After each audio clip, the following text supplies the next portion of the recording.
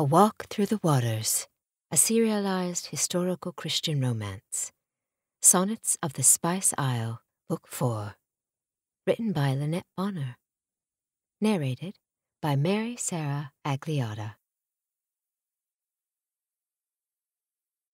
Part 1 Isaiah 43 2 When you pass through the waters, I will be with you, and through the rivers, they shall not overflow you.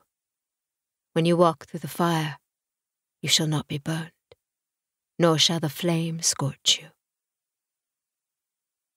Chief Banda's village, Lake Nyassa, at the dawning of a new day. The sun was just cresting above the horizon when RyAnne woke and stepped onto the sand outside her and Papa's hut. The breeze off the lake cut through her blouse and breeches in a way that reminded her she could probably resume wearing proper women's attire now that they'd arrived at the village. And yet, after wearing the men's clothing for the past several weeks, she'd found them to be quite freeing, certainly much less restrictive. Perhaps she would grant herself a few more days' reprieve from corsets and hoops. She folded her arms against the chill and enjoyed the orange and pink hues of dawn spreading across the dome of the sky. Trent and his men were already gone, even though she'd known they would be. She felt as though another weight had just dropped onto her shoulders. It was nonsense for her to miss him. The man had made it perfectly clear on numerous occasions that nothing could grow between them. And if she wanted to be fair to him, and she did, she wouldn't pursue a relationship with him. For to do so would require her to be honest with him about her heritage, and if word ever got out about her ancestry, it would be the death knell to Mother's social standing and to the captain's business workings on Zanzibar. Not that she feared the captain would say anything to anyone, but still. Right at this moment, there were exactly four other people in the world who knew that Anne Hunter was not RyAnne's real mother, and those were the immediate members of her family.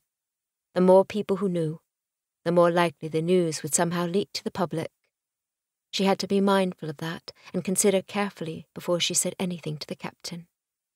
She wrinkled her nose. She simply wouldn't think of him. Instead, she wrapped her arms about herself and forced her concentration to the clean scent of the morning breeze wafting off the lake.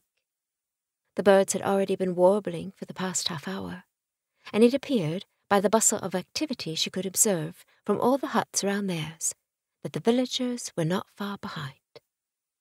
Papa's breaths had rattled in his throat the whole night long, but he seemed alert and excited when she went back in to check on him. Would you like some porridge, Papa? She offered him a hand and lifted him into a sitting position. I think tea will suffice this morning. Thank you, daughter. She didn't like to see him skipping a meal, but had learned over the past few weeks that if she left him to his own choices, he would eat eventually. She placed his Bible next to him on the cot and set about to quietly prepare his tea. When she brought it to him, he said, See if you can't find Keiko, would you, dear? I want him to arrange a meeting with the chief for me. I'd like to put up a shelter of sorts for chapel services. Part of it can be used as a clinic also. Shouldn't a clinic and a church be separate? She helped him draw on a clean shirt and handed him his boots. He smiled. I think the good Lord will forgive us for being frugal with our construction, for the time being. That was probably true enough. After breakfast, she left Papa seated on a rock near the fire pit outside their door, and made her way through the chatter of a village just coming to life to see if she could find Keiko. Two women, walking toward the lake with clay pots, giggled with each other and altered their course when they took note of her. Both women stepped right into her personal space, and one was even bold enough to reach out and finger the linen of her shirt. The other, apparently emboldened when RyAnne, in her shock, could come up with no appropriate negative response to the first, reached out to touch RyAnne's hair. She gave a vocalization of awe that drew her companion's hands to RyAnne's hair also. RyAnne grimaced, but bore the relatively intimate inspection with as much grace as she could muster. She felt rather like a baby baboon being groomed by a troop of boisterous mother baboons. But she realized that their behavior was born of simple curiosity and let them finger a curl for a moment longer, before offering them each a smile and taking a purposeful step back. One woman seemed reluctant to release RyAnne's hair, and RyAnne had to somewhat forcefully extract the curl from between the woman's fingers. Next time, she made note, she would pin her hair all the way up. But this time she pasted on a smile. My name is RyAnne. She laid a hand on her chest. And you are? She waited, bouncing a glance between the two women, but they only looked blankly at each other and then back to her. They apparently did not understand the Kiswahili that she spoke fluently, and RyAnne felt her hopes deflate a little more.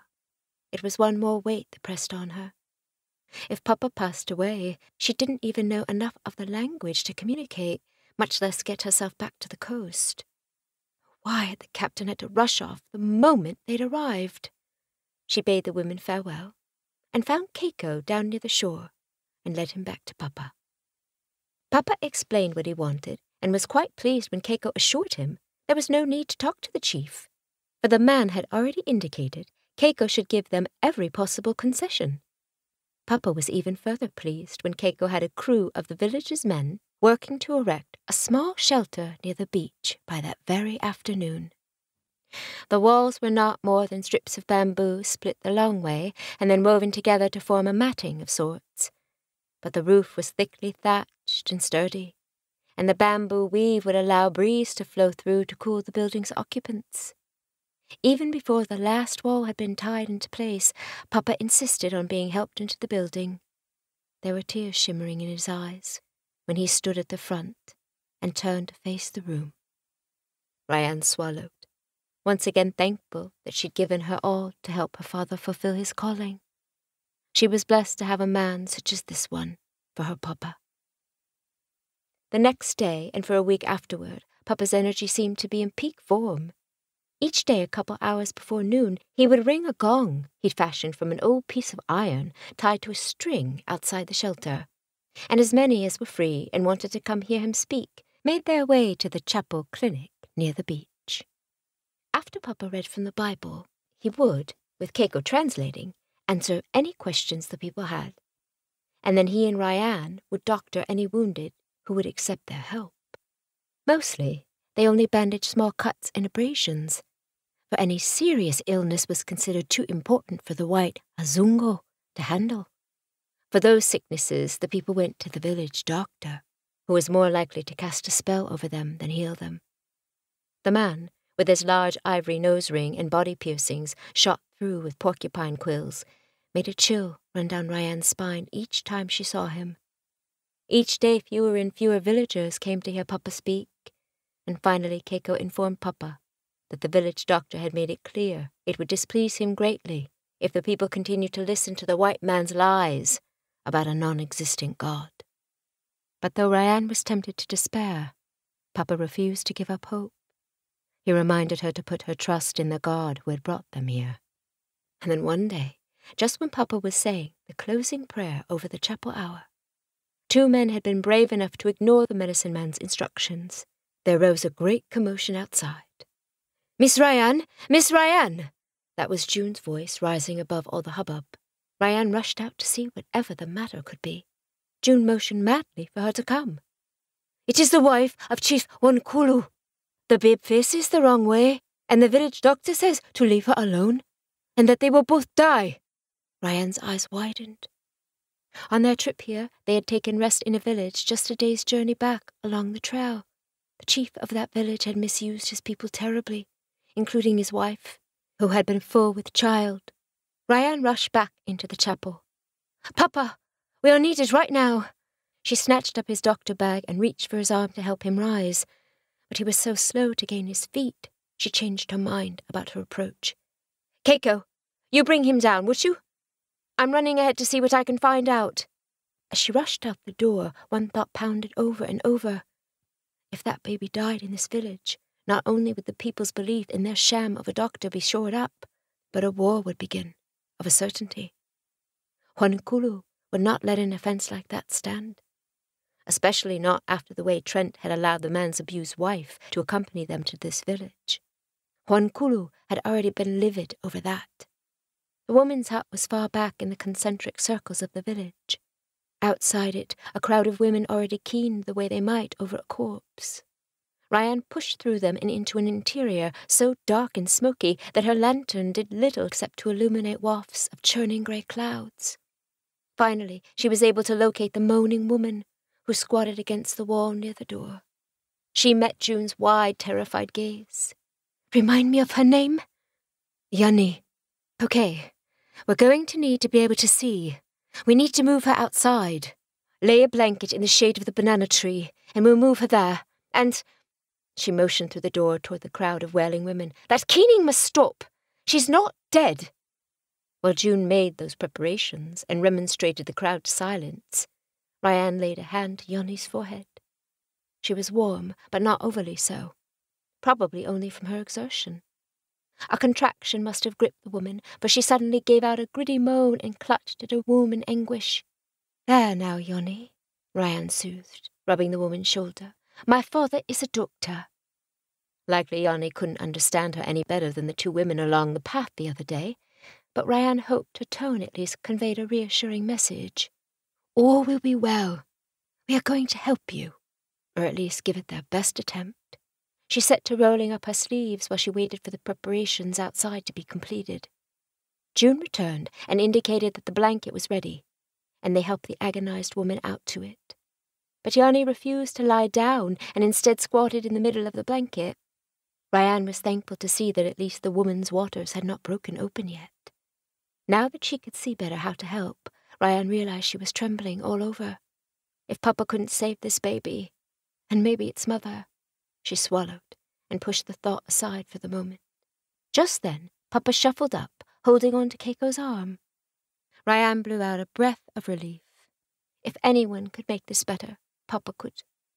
But instead of pitching in to help, he motioned to a log round by a nearby fire pit, and Keiko fetched it for him. Papa sank onto it, panting. Movement just behind Papa drew RyAnne's attention. The village doctor. His face smeared white with a mixture of ash, glowered so angrily RyAnne felt the look, like she would have felt the thrust of the long, feather-decorated spear he held in one hand. Papa? RyAnne's tremors had ratcheted up to full force. Calm yourself, RyAnne. You must trust in the Lord and pray for his protection. There is great power in the name of Jesus against a spirit such as that. Papa spoke some words low to Keiko, who in turn strode across to say a few words to the medicine man. Though Papa bowed his head and RyAnne could hear his low supplications, she couldn't seem to take her eyes off the confrontation taking place, nor lift up any other prayer except Jesus. The village doctor started toward her and Papa. Keiko stepped into his path and placed one hand to the man's chest. There was a fierceness in Keiko's stance that RyAnne didn't remember seeing before. Behind her, Yanni moaned loudly. June cooed a few soothing words and fussed over her, but the woman did indeed sound like she might be dying. RyAnne's fingernails bit into her palms. At the sound of Yanni's great distress, the medicine man threw up one hand and said a few angry words. But Keiko stood his ground, and after a moment the man turned and stormed away.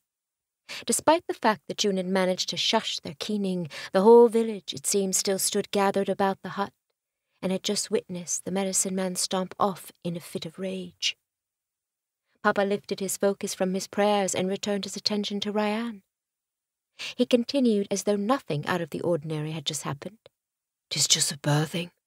Now you must get her to lie down. June passed the instructions to Yanni, who reluctantly collapsed onto the blanket as requested. Papa nodded. Now, palpate her stomach and tell me what you feel. Remember, we've done this before, you and I. The head will be firm, hard, and round. Feel for it. Papa placed a hanky over his mouth and coughed into it a couple times. Helplessly, RyAnne looked down at the woman who writhed and whimpered and rubbed her belly. Her faith was so lacking, yet it seemed that once again God was asking her to simply offer what she had, limited though it might be. Heaving in a fortifying breath, RyAnne complied with Papa's orders. The head is high, Papa, just under her ribs. The babe does indeed face the wrong direction. The feel of that little head so high up sent a wave of certain fear shooting through RyAnne. The medicine man might be right in the end. But the first rule of medicine Papa had taught her was to never let your patient see your fear, no matter how strong it might be. Is there room to turn the child, or is it already too far down? RyAnne assessed the situation, and as another contraction bore down on the woman, she realized with dread the babe was too far into the canal to turn. She shook her head at Papa, doing her best to keep her breaths from banging against her teeth. But Papa remained as calm as the placid lake. Fine. Then we'll have to carefully watch that the cord doesn't get clamped off at the last. But it's not impossible to deliver. Papa smiled.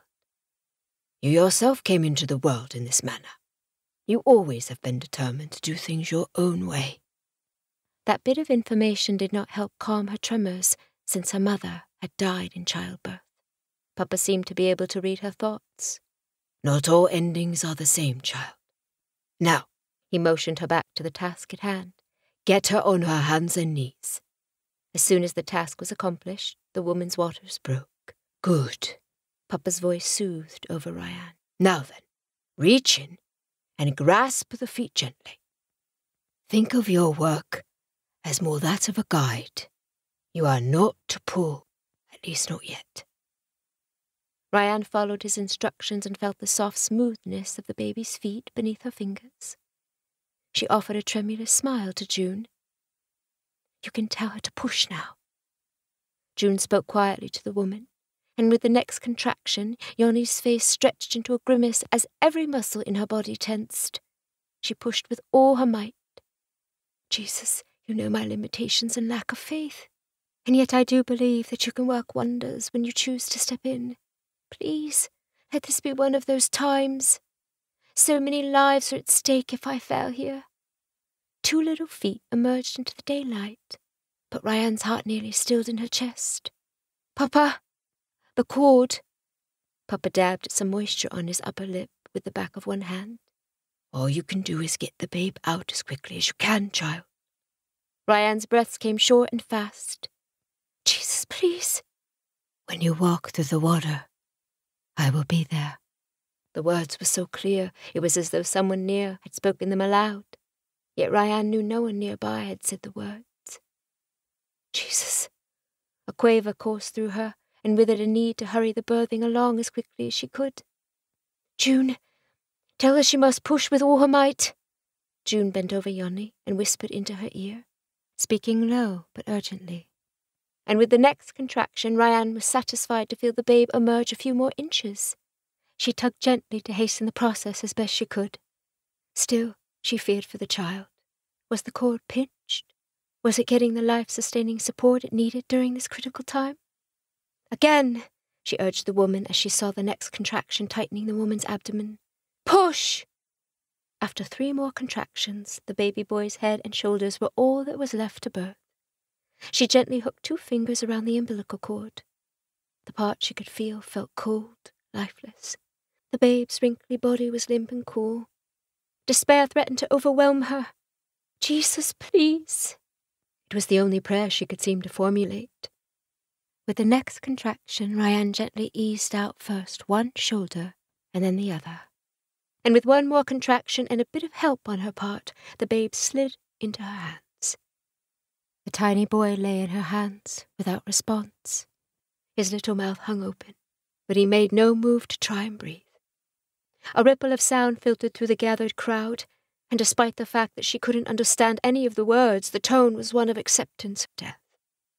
Turn the child upside down, RyAnne. Rub his back firmly. Now! Papa hadn't sounded so forceful in a long time. Hand shaking, RyAnne turned the boy. She hooked two fingers on either side of his neck and curled them over his shoulders to hold on to him. And she rubbed his little back hard. Come on, little one. Father in heaven, life, please, for this child. She rubbed him again and gently whacked his back with the heel of her hand. The baby flinched and gave a tiny bleat of protest. From the crowd, a sound of awe lifted. The awe was echoed in RyAnne's own spirit. Oh, thank you, Jesus! She turned the baby over. At the bright light in his face, the infant balled up his fists and screamed in earnest. RyAnne couldn't withhold a soft chuckle. That's right, little one. That's right. Just breathe. Joy pulsed through her. A baby boy. Whole and beautiful in every way. A grin stretched RyAnne's face from ear to ear as she tied off and cut the cord and laid the baby against his mother's chest. You have a fine, strong son. The woman seemed content despite the communication barrier, and she clutched at one of RyAnne's hands in thanks. Yanni then turned to face her son. She murmured and cooed to the baby. And such a swell of happiness rose up in RyAnne she had to step away from the intimate scene. Papa looked all done in. Keiko, if you wouldn't mind, could you please see Papa back to our hut while I wash up? The man nodded, and RyAnne was so thankful for his help. Down at the lake, she sluiced water and soap over her hands and arms. Her sloppy grin didn't seem to have anywhere else to be. Thank you, Jesus. We did it. Together. Thank you. She had just saved a life. Maybe two. And maybe had prevented a war. Certainly sometimes God seemed shockingly silent in the face of appalling evil. But today she had felt him almost nearer than Papa had been. And certainly sometimes her gift would not be enough. But sometimes it was enough. Today, combined with a bit of prayer, and God's help, it had been enough. Trent swung the machete with vigour as he and his men blazed through a large marsh full of tall grasses.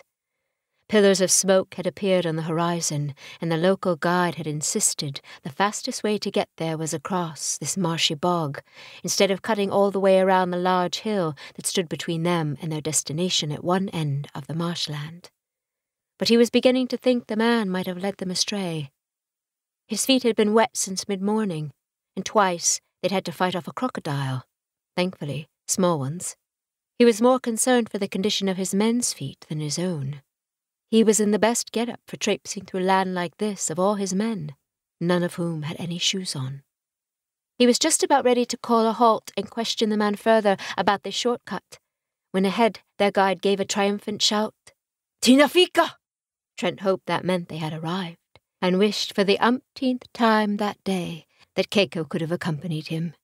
He certainly could have used the man's translation skills, but had felt it more important to leave Miss Hunter under the guard of a man he trusted.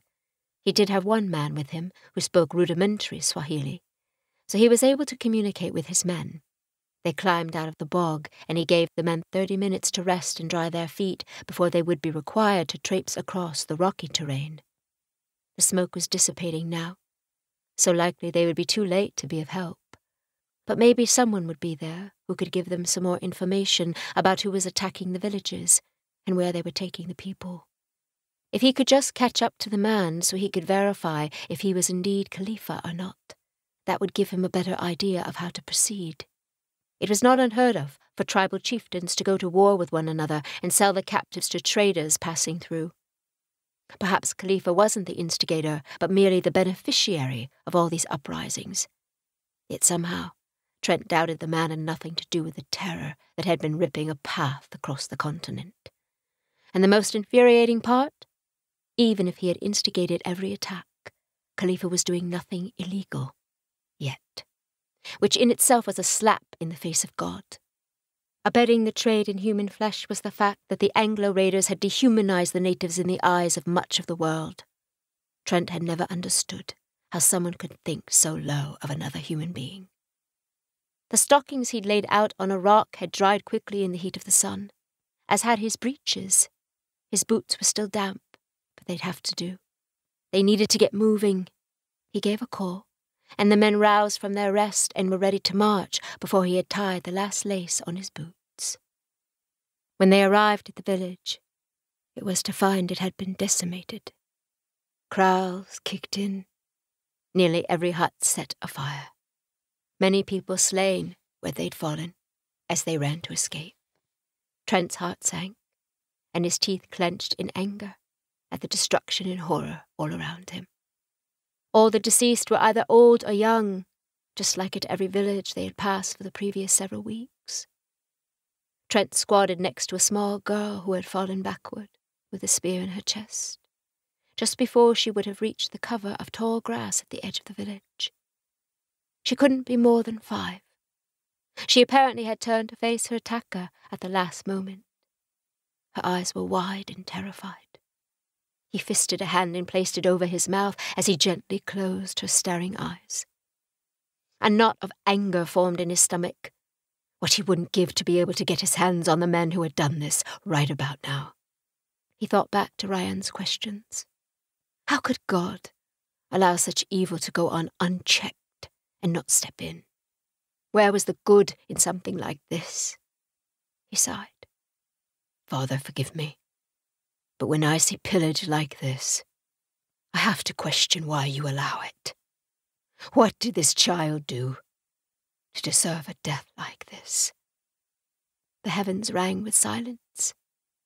Next to him, the grass rustled. He leapt back and drew his machete in one hand and pistol in the other, ready to defend himself in case an animal, emboldened by the scent of death, was set for an attack. A soft gasp and another rustle of grass was all he encountered, however. There was a survivor. You! He sheathed his machete and snapped his fingers at his translator. I have a survivor here. Tell them it is okay to come out, that we won't hurt them. The man approached and squatted down. He murmured some quiet words toward the stand of thick brown grass. And after a moment there was another rustle, and the blades parted to reveal a small, tear stained face. The girl was young and terrified. She didn't move fully into the open, but examined Trent carefully from head to toe, and then asked the man squatting next to him a question. She was obviously nervous that he might be another slave trader come to finish what the previous raiders had left undone. Trent unslung his canteen and held it out to her with a little shake and a gentle smile. This child could be the break they'd been hoping for. Could she have seen anything? Surely she had. The girl took a hesitant step away from the relative safety of the concealing grass. She eyed the canteen with a frown, obviously unsure what it was. Removing the cork, Trent tilted back his head and poured a splash of water into his mouth, in demonstration, then held it back toward her. She had to be thirsty. It was straight up noon, and she'd probably been hiding for hours. Eyes widening as she realized what he was offering her, she clutched at the canteen greedily and tipped it back, taking long, desperate draughts of the revitalizing liquid. After a moment, she wiped at her mouth with one tiny palm and handed the canteen back to him with a slight bend of her knees in thanks. The girl couldn't be more than seven or eight. Trent reached into his rucksack and pulled out a mango he'd plucked along the path early that morning. He squatted down and held the fruit out to her. The girl didn't hesitate this time, but took the fruit and bit through the skin without ceremony. She used her teeth to quickly pull back the thick skin in a half circle around the mango, and then ate the pulp with gusto before moving on to the other half. Once again, when she had finished and tossed the seed and skin away into the thick brush, she dipped her knees and pressed her palms together in the tribal way of saying thank you. Trent tipped her a nod, then looked at his guide, who had sat quietly by, waiting for the girl to finish. Ask her if she saw the men who raided her village. The man spoke low to the girl. Her eyes widened, and she chattered a few phrases with a trembling voice. Trent waited patiently for the guide to translate for him. She say, the raid came just as the sky's day lamp lifted above the horizon. Many men attacked from all sides. She and her sister, he pointed suddenly to the dead child, ran. Did she see the leaders? The translator murmured to her again. Tiny hands gesturing, she responded. The translator turned a surprised look on Trent. After the chaos at the first of the attack, the raiders made all the villagers gather in the boileau. She says there were two men, two leaders. Trent leaned forward. Can she describe them? The translator spoke to the girl again. She responded with a bit of a warble in her soft voice. The man looked at Trent. She says one man is very tall, with very dark skin, and a white patch in his hair. The other is an Arab, wearing a grey kufiya. Trent's stomach clenched. Khalifa wore a grey kufiya. and he recognized the description of the other man as one of the Zanzibaris who had been with Khalifa at Commodore Cornwall's estate. The Arab is in charge of a caravan of women only. The other was taking anyone, man or woman strong enough to work, that the Arab passed over. The first man only took those women who were fat. Trent frowned. Fat? The translator scratched his head as though unsure of the correct Swahili word to use. It is the village way to say, how you say, good teeth, good skin, young, no babies yet. Beautiful virgins? The translator snapped his fingers in recognition. That is the word. Harem women. Harem women. Trent stood slowly and let his focus blur into the horizon. The Sultan got his concubines from Oman. Any women from here wouldn't be destined for the palace on Zanzibar, which meant whoever Khalifa was working for really was involved in an illegal smuggling of slaves.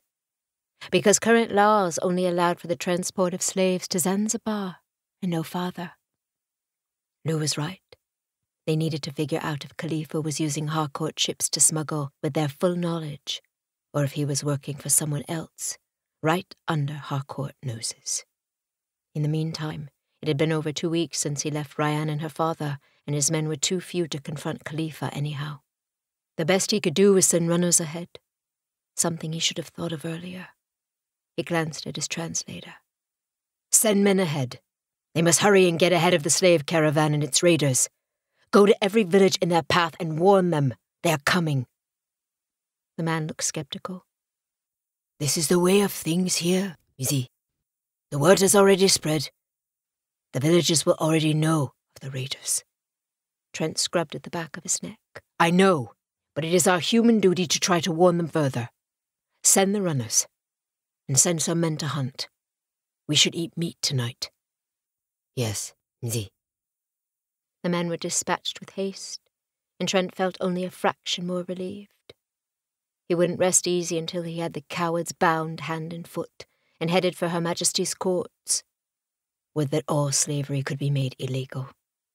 He glanced around the village once more.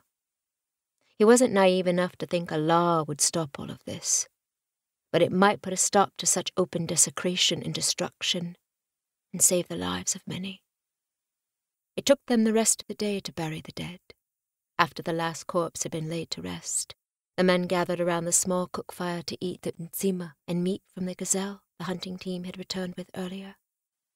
Trent made sure the young girl, who told them her name was Niimbo, Song, received the first plate. Her eyes looked weary beyond their years, and he knew grief must be tearing her up inside. He gently laid a hand on her head and then squeezed her shoulder. It appeared Miss Hunter would have another charge once they returned to the village. He left the girl to her food and took a portion of his own. We returned to the lake at first light, Trent informed his men. For now we will rest. This village, pillaged though it was, would be as good a place to do so as any. The raiders wouldn't be returning here. At least not so soon.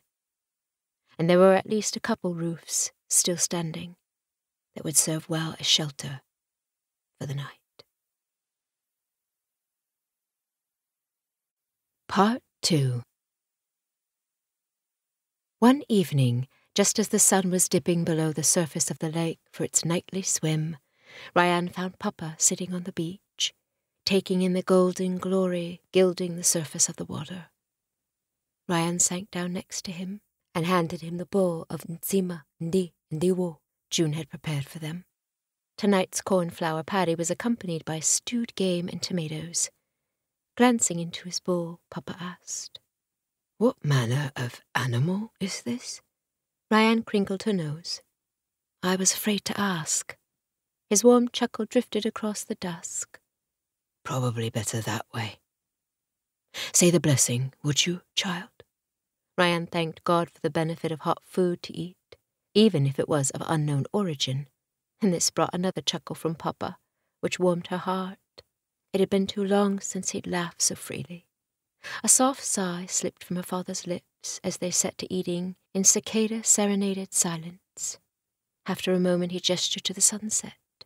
Beautiful, isn't it? The champagne light had puddled into distinct swatches of guava and mango now, and with the palm tree just to their right silhouetted against the sky, it had been some time since RyAnne had seen anything so beautiful. Stunning, she agreed. Papa dipped another morsel of the corn patty into the stew. Your mother loved sunsets. RyAnne stilled, knowing instantly that he was speaking of the woman who had given her birth, not the woman she had called mother all her life. Setting his half finished bowl aside, Papa licked his thumb and offered, Did I ever tell you that her mother came from this tribe? This very village, in fact? RyAnne's brows lifted. My mother's mother? Papa nodded. Aye. She was captured from here back in the early twenties. Silas Coventry bought her from the Zanzibar slave market. Silas was your mother's father. He sold Arabella to me in 1845. The bottom seemed to drop from her stomach. She'd only ever known that her birth mother's father had been a plantation owner, but never his identity. Silas Coventry?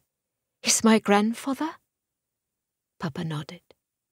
RyAnne set her own bowl aside, not sure she could stomach any more food on top of the bitter taste currently in her mouth. Silas Coventry was one of the cruelest men on the whole island of Zanzibar. His plantation thrived on the backs of slaves who were often abused to the point of death. Is my grandmother still alive? Papa shook his head. I'm afraid not. It was her death that caused your mother to rebel to the point that he sold her to me to be shut of the trouble of her.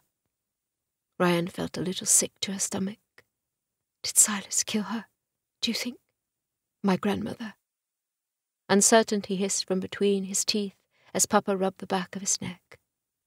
I'm not sure. Arabella never wanted to talk about it. RyAnne glanced around the village.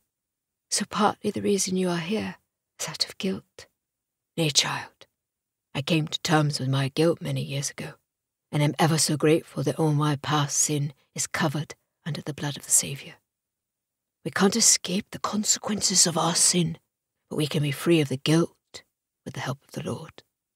He rested his forearms against his knees and continued.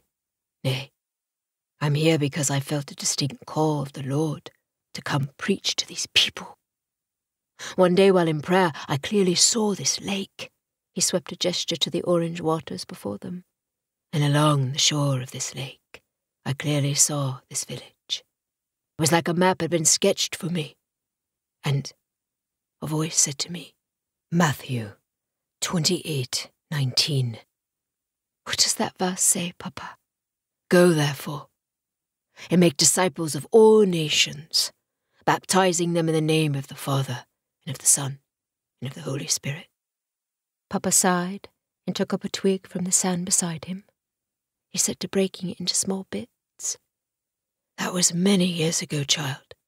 I tried to talk Anne into coming with me, bringing the family but she would have nothing to do with coming here to live in the wilds, especially not to reach the village of the woman who was your mother. Tossing down what was left of the twig, Papa spread his hands. So when I knew I was dying, I thought what better way to solve two problems at once. I could fulfill what I'd felt the Lord calling me to these many years, and I could free my family from having to watch me slowly die. Ryan squeezed her father's hand. I'm sorry she wouldn't come with you, Papa. The silence lingered for a moment before Papa said, I hurt her most severely, child. I broke our vows and misused her trust. Not much can amend for that, no matter that I've attempted to apologize in innumerable ways and tried to prove myself worthy of her trust once more. Now, in these my last days, I can only pray that she will be able to let go of her bitterness ere she passes on into eternity. It grieves me that my sin might be the cause of her separation from God for all of eternity, for she's never been able to forgive me for what I did. A frown furrowed her brow. Whatever do you mean by that? Surely you can't mean. Just as I say, child. Age spotted hands scrubbed over his wrinkled face, and then he draped his arms wearily over his knees. It's part of the Lord's Prayer, and forgive us our debts as we forgive our debtors Then Jesus also said in the verses following, For if you forgive men their trespasses, your heavenly Father will also forgive you. But if you do not forgive men their trespasses, neither will your Father forgive your trespasses. Puzzlement tugged at RyAnne's brow. Yet aren't we saved by grace alone? Papa nodded. And yet, if we can't bring ourselves to respond in obedience to commands so clearly laid out in God's word for us, can we honestly claim that we've fully placed our faith in God? RyAnne thought of Khalifa, who had first attacked her in the Harcourt's garden, and then so abusively maltreated Nyanja after she'd lost her leg to the crocodile. Could she ever bring herself to forgive a man like that? And what about a man like Chief Wankulu? Did a man who would whip and browbeat a woman deserve forgiveness? The next thought stilled the breath in her lungs. And her mother? The woman who had constantly belittled her and made her aware of how inadequately she measured up. Could she bring herself to forgive her? Apparently seeing the quandary expressed in her features, Papa rested one hand at the back of her neck. Do you remember the parable of the unforgiving servant, RyAnne? He owed the king of his country a great debt, but when he begged for forgiveness, the king granted it to him. Then the servant promptly went out and beat a man who owed him only a few cents. Word got back to the king, and the man was brought back before him, declared wicked, and delivered to the torturers. The lesson that parable points out is that we who have been forgiven so much in the face of God's perfection ought to realize how little harm has actually been done to us by people who misuse us. When God has forgiven us for so much, and in fact made us perfect in His sight, only by our belief in Him, how can we in turn refuse to offer that same forgiveness to others? It is out of a grateful heart for what our Saviour has done for us that we pass on that forgiveness.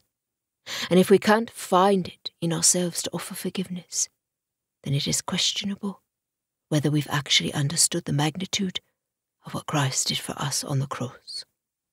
Realization of how far she had to go to become more Christ like washed through RyAnne. Up aside. I don't say all that to make it seem like what I did to Anne was negligible. I understand it was a horrendous thing I did. And yet her burden now rests in finding the strength to step out into forgiveness. This is my prayer for her. RyAnne's tears transformed the scene before her into an orange blur. All these years she had resented the way Mother treated her, always angry about little things, always keeping RyAnne at arm's length, never satisfied with anything RyAnne had tried to do to impress her. And now suddenly, even though RyAnne had known in the back of her mind all these years where the bitterness must stem from, it became clear why. She put herself in her mother's place, having to raise the child brought forth from an adulterous affair perpetrated by her husband. She suddenly had a magnitude of sympathy for the woman. What pain mother must feel each time she looked at the child that resulted from that affair. What bitterness! And yet, if she could have brought herself to forgive Papa, what a better relationship they could have had with each other. And if she could bring herself to forgive Mother, they too would have a better relationship, the kind RyAnne had longed for all her years growing up. Maybe it wasn't too late. RyAnne dashed at the tears coursing down her cheek. After a long moment, she whispered, I will join you in praying for her soul, Papa and for my own.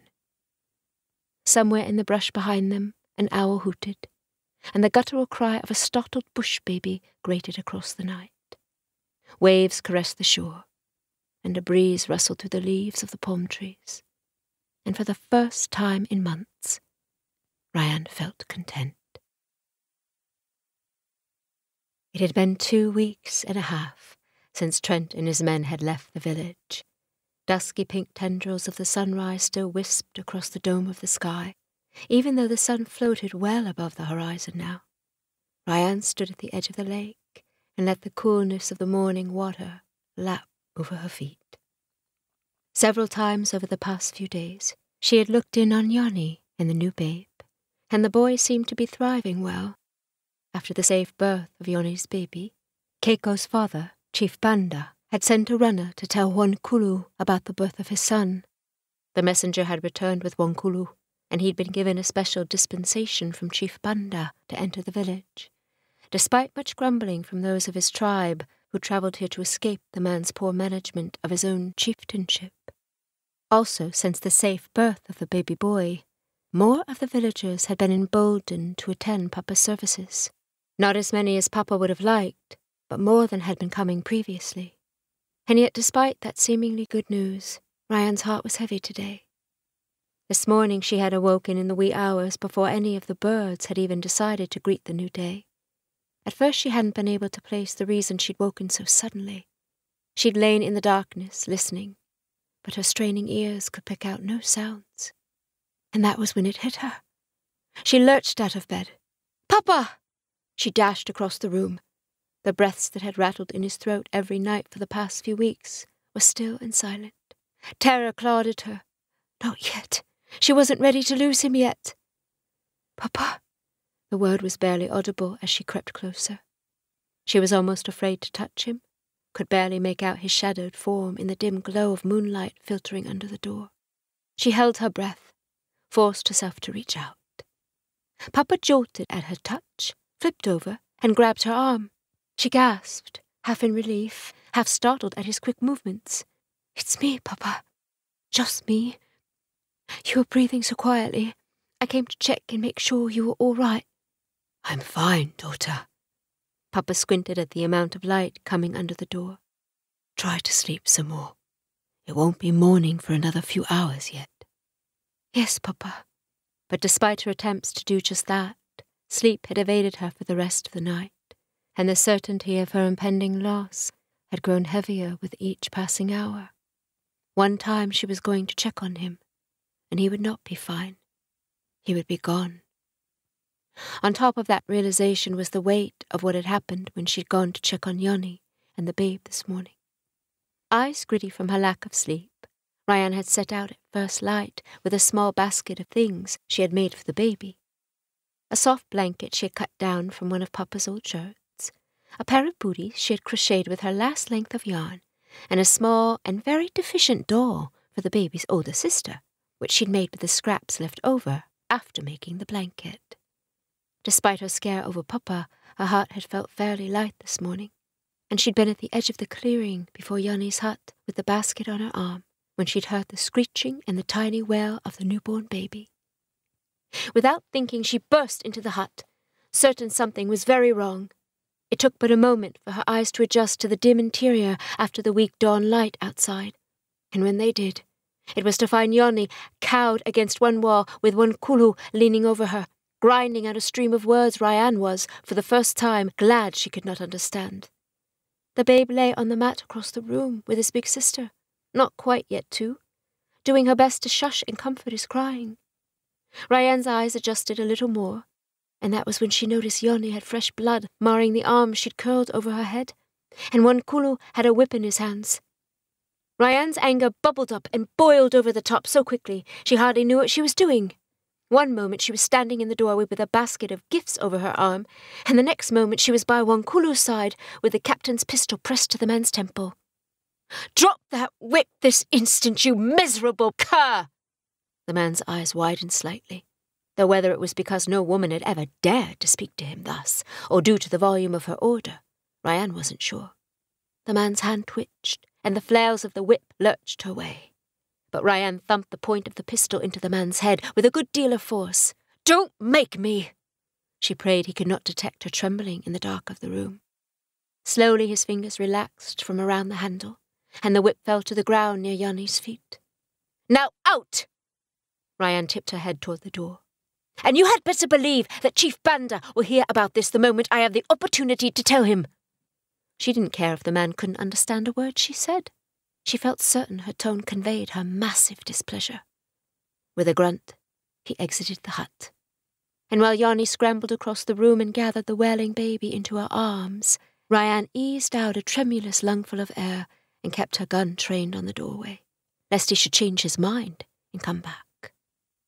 Yanni crooned softly to the little one, and after only a moment, his wails turned to soft snuffles. After calming the babe, Yoni managed to convey that Wankulu was trying to force her to return to his village with him. and she had told him she didn't want to go. RyAnne went straight to the chief's hut after leaving Yoni's, and the man was livid when Keiko translated her story of what had just happened. Keiko had assured RyAnne that Wankulu would be escorted from the village the moment he was found, and that he would not be allowed to return. Now, the waves grew a little stronger and tugged at the tops of her ankles. She lifted her skirts. She'd gone back to wearing skirts almost two weeks past, and tipped her face to catch a bit more of the breeze. And it struck her. Wankulu was doing to his wife what RyAnne had wanted God to do to some people. Wankulu had been trying to force his wife to return to his village with him, just as RyAnne had wanted God to forcefully intervene in some of the atrocities she'd witnessed recently. Yet force was no proper way to show love. The ultimate sacrifice of true love was giving people free will. Free will meant that sometimes one man's choices would bring hurt upon someone else. She considered the question she had lifted to Captain Dawson just after the attack on Nyanja that had left her a cripple with only one leg. Some bad things that happened were not a result of man's choice to harm another. Some, it seemed, should be easily preventable by a loving God. How could a good God let such things happen? Nyanja losing her leg, for instance. Yet Nyanja had told her not long ago about how grateful she was to be free of Khalifa's abusive ownership. She would not have gained her freedom had she not lost her leg. So it could be said that God had used the bad to bring about a greater good for Nyanja and Moyo. But then there was Papa. Certainly he'd made his share of mistakes. One of them had resulted in her birth. But from those mistakes he'd realized the error of his ways and had given his life over to God. He dedicated his life from that time to this by serving others. But God had allowed him to be struck down by a disease that was slowly eating away at him, day by day. She recalled the verse that had come to her as though spoken from the very mouth of God as she'd been delivering Yoni's baby boy. When you walk through the waters, I will be there. God promised to be there, to be a comforter, to be present in the hard times, and she believed it. Another verse spoke about God working all things for the good of those who were called by his name. She believed that too. The struggle was in seeing how God was doing that. Perhaps if Papa had never grown sick, he never would have worked up his courage to come to this village where he so strongly believed God had called him.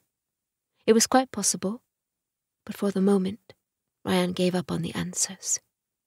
Father, I don't suppose I have to know all the reasons why. Just help me to keep my trust in you, to know that you will never leave me nor forsake me, no matter what you ask me to go through. Slowly, as she prayed, her heavy heart began to ease. And finally she felt ready to face her day, though she knew by the end of it she would be feeling her short night and stressful morning to their fullest. She retrieved her shoes and headed toward the hut to waken Papa. They needed to get on with their day. It was mid afternoon, just after she and Papa had shut down the clinic for the day, when a commotion rose from the outskirts of the village. RyAnne's heart lurched with hope. Was the captain returned? She rushed from the clinic, drying her hands on a scrap of toweling. And there he was, striding into the village at the head of his men, his gaze drilling into hers.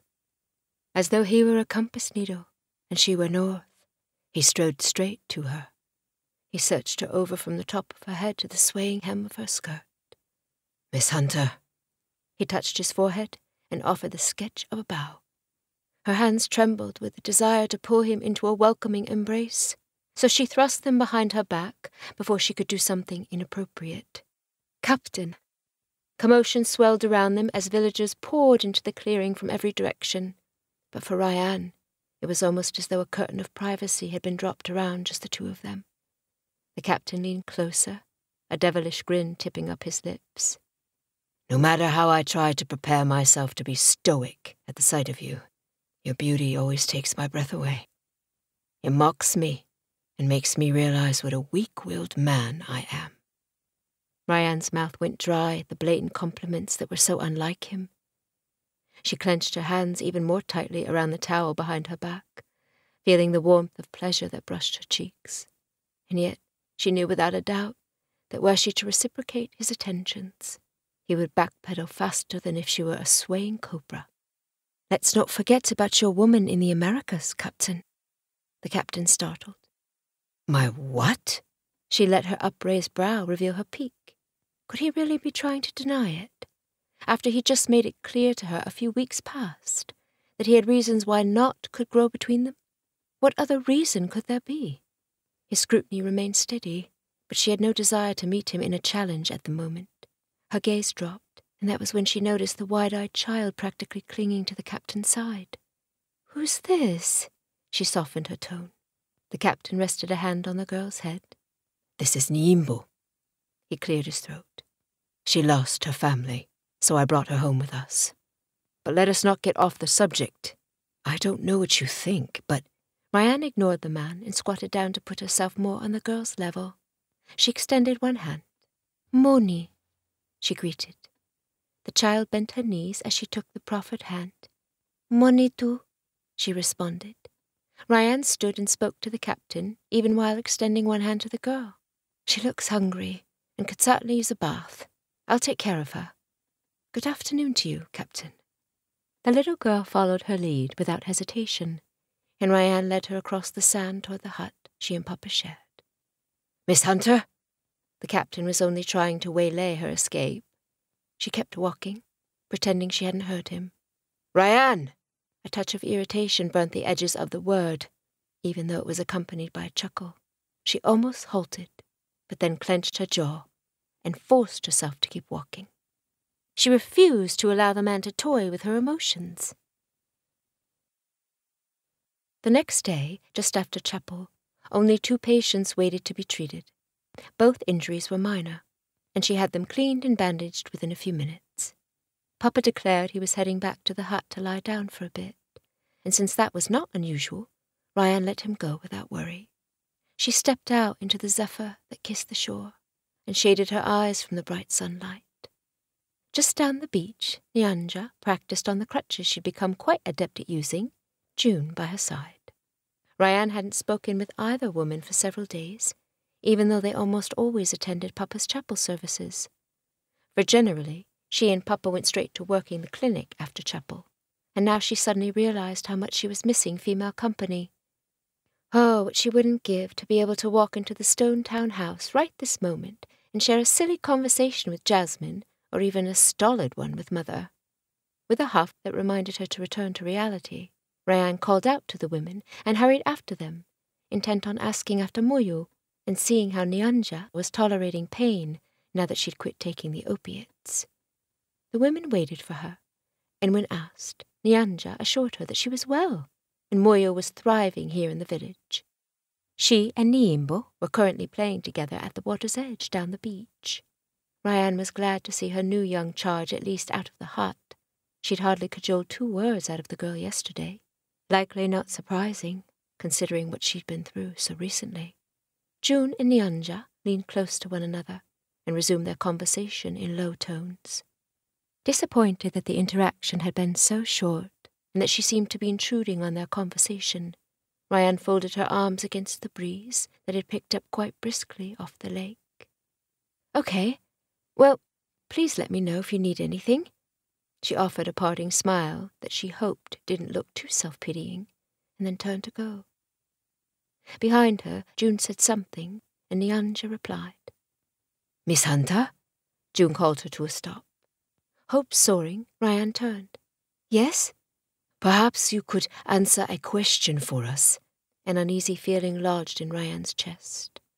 She brushed a strand of hair from her face. I can try. June motioned for her to join them as they walked. Nyanja and I have been talking about your father's words from the chapel. RyAnne's heart rate picked up. They wanted to know about spiritual truths. Oh, she certainly wasn't the best one to help them with that yet something kept her walking with them. Yes? Yesterday, your father spoke about Jesus loving the world so much that he died on a cross for us. RyAnne nodded. Papa had drawn a cross in the dirt floor of the chapel to show the villagers what one looked like, and then he had explained, using his medical knowledge, the horrifyingly slow death that took place on a cross, and he'd ended with a challenge for the people to take up their own crosses and follow Jesus, along with an explanation of what that meant. June pressed on. I used to attend the chapel on Commodore Cornwall's estate, so I have heard this story before. But Nyanja says maybe this god is only for the Azungu and not for the Chewa or any other black tribe. No. RyAnne suddenly longed more than anything for them to believe her next words. Jesus died for everyone. The two women looked at her skeptically. Then why don't we know any of our people who are serving this god? RyAnne swallowed. You do? The words were out before she could think better of them. We do? RyAnne nodded.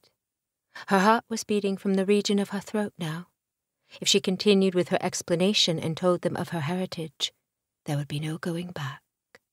Word would spread. Captain Dawson would learn of it, and that might be the final brick in the wall of rationales that seemed intent on keeping them apart. And yet, perhaps this was the very reason the Lord had directed her path to this village. This was something she could offer that not even Papa could. She swallowed, took a breath. Did you know that my mother's mother was from your tribe? She lived in this very village, on this very lake. She swept a gesture to the water. Both June and Nyanja came to a stop. June's voice was incredulous when she asked, You carry the blood of the Chewa in your veins? RyAnne smiled, nodded. My grandmother was taken as a slave from these waters, and my mother was my father's slave before he gave up his own ways, started living for the God he now tells you about. I can assure you that Jesus loves all people, no matter the colour of their skin or the blood that flows in their veins. June and Nyanja laughed incredulously and chattered a few phrases to each other. This news makes us very happy, June said.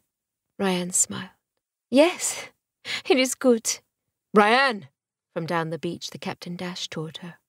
RyAnne's heart plummeted in her chest. She turned to face him, but resisted voicing all the fears pounding through her. Trent came to a stop before her and pulled in a breath. It's your father. You need to come now. Without a word, she lifted her skirts and took off at a run toward the village. Where? A hut? Yes. Trent jogged at her heels. She was too afraid to ask any more questions, and when a moment later she burst through the door and found Papa lying on his bed, looking pale, but alive and breathing, her strength left her. She collapsed on her knees by his bed. Papa! What is it? His hand trembled as it fumbled across the coverlet to find hers. It's time, dear girl. I can feel it. The words were barely a wheeze across his lips. It couldn't be. He'd stood at the front of the chapel and preached a sermon only a bit ago. RyAnne wanted to protest. She wanted to urge him to fight, but nothing she thought to say seemed right in that moment. She clamped her teeth against the wail that wanted to escape her. I'm here, Papa. I'm right here. His fingers tightened around hers. God gave me more time than I expected. He struggled for the breath to say the words. Shh, Papa. Don't speak. Just rest. Yes, rest. His eyes drifted closed, and this time RyAnne couldn't suppress a sob. She knelt by him until her knees were almost too cramped to move and then she worked her way to her feet and paced the confines of the room. Captain Dawson sat on a stool across the room, elbows on his knees as he whittled a small stick with his pocket knife, his face grim. Papa's breaths rattled, but at least they remained mostly steady. Every once in a while the wheezing would stop and RyAnne would freeze, certain this was the end. But then Papa would stop breathing again, and her relief would set her to pacing anew. After several hours, the captain strode from the room and returned a few minutes later with a bowl of broth and a corn cake. He took her arm and led her to her cot, urging her to sit as he held the bowl out to her. You are going to need your strength. She tried to push the food away. I can't. Yes, you can. His words left no room for compromise. He took the bowl she handed back to him, and he squatted before her, Lifting a spoon of broth, he gave her a pleading look. Captain, please. He used her speech as an opportunity to slip the spoon between her lips and she gave up. It would take less strength to comply, and would certainly be less messy, and she was too weary to fight him on this. She swiped at the broth on her chin and took the bowl from him, broke the corn patty into the broth, and set to eating, giving him one last glower for good measure. With a satisfied nod, he left her to it and stepped over by her father's side. Part 3 They passed the night hours together, fitfully dozing, pacing, pausing when Papa's breathing stopped, and starting up again only when he resumed. The rattle of death's looming victory gargled at the back of Papa's throat, and RyAnne wanted to put her hands over her ears, or maybe run from the room more than once that night. Then, just as dawn was breathing light against the horizon, RyAnne lay down next to Papa's pallet and rested her head on the side of his blanket. Papa's hand fumbled across the coverlet and found her, patting gently. Hope burgeoning, she rose up and took his hand. Good morning, Papa. RyAnne. His voice was dry and scratchy, and she scrambled to fetch him a drink of water, holding the cup carefully to his lips as the captain lifted him slightly and held his head steady but after only two swallows, he waved a hand weakly to indicate he'd had enough. The captain settled him back against the pallet. Papa's gaze found hers. Would you read to me? Of course, Papa. He eased out a rattling breath. Psalm 10. RyAnne started to rise to fetch the Bible, but Trent was already by her side, handing her the book. She accepted it from him. Thank you. The captain squeezed her shoulder gently in a gesture of support, and she flipped through the pages until she found the psalm. Then, in as steady a voice as she could muster, she began reading. Psalm 10 Why do you stand afar off, O Lord? Why do you hide in times of trouble? A sob gathered at the back of her throat and threatened to prevent her from finishing the psalm but the captain's steady hand on her shoulder gave her the strength she needed to go on. The wicked, in his pride, persecutes the poor. Let them be caught in the plots which they have devised. For the wicked boasts of his heart's desire. He blesses the greedy and renounces the Lord. The wicked in his proud countenance does not seek God. God is in none of his thoughts. His ways are always prospering. Your judgments are far above out of his sight. As for all his enemies, he sneers at them. He has said in his heart, I shall not be moved. I shall never be in adversity. His mouth is full of cursing and deceit and oppression. Under his tongue is trouble and iniquity. He sits in the lurking places of the villages. In the secret places he murders the innocent. His eyes are secretly fixed on the helpless. He lies in wait secretly as a lion in his den. He lies in wait to catch the poor. He catches the poor when he draws him into his net. So he crouches, he lies low, that the helpless may fall by his strength. He has said in his heart, God has forgotten. He hides his face. He will never see. Arise, O Lord. O God, lift up your hand. Do not forget the humble. Why do the wicked renounce God? He has said in his heart, You will not require an account. But you have seen, for you observe trouble and grief, to repay it by your hand. The helpless commits himself to you. You are the helper of the fatherless. Break the arm of the wicked and the evil man. Seek out his wickedness until you find none. The Lord is king for ever and ever. The nations have perished out of his land. Lord, you have heard the desire of the humble. You will prepare their heart. You will cause your ear to hear, to do justice to the fatherless and the oppressed, that the man of the earth may oppress no more.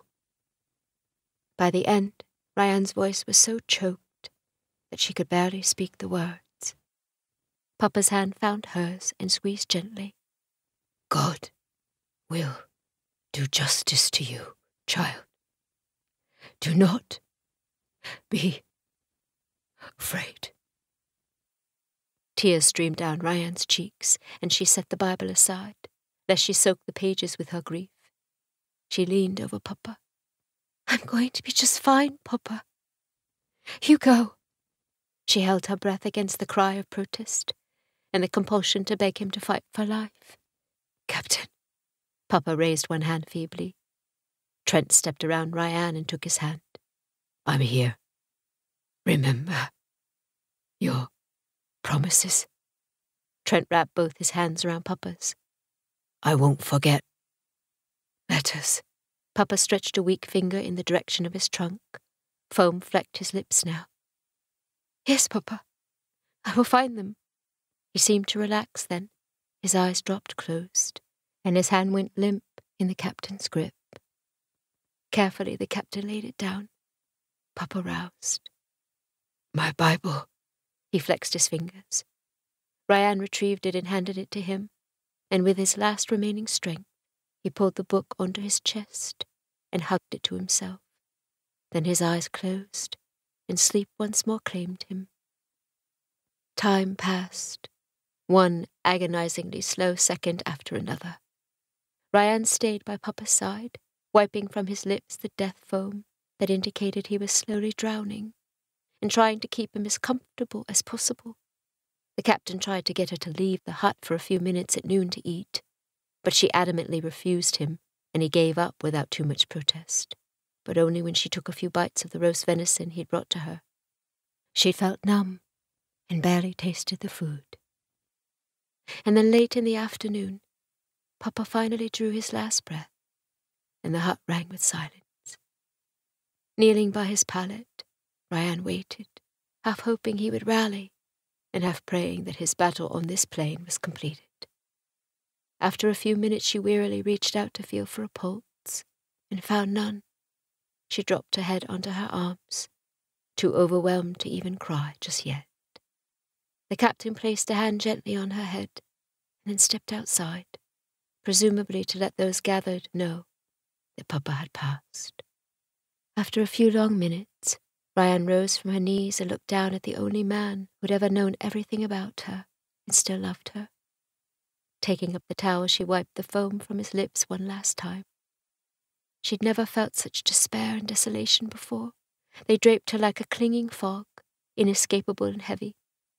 How was she going to go on without him? Carefully, she brushed Papa's hair back from his face and straightened the collar on his shirt. She pried the Bible from beneath his limp fingers and laid his hands one atop the other. Her fingers rubbed at the smooth sheen his daily use had given to the leather of the book.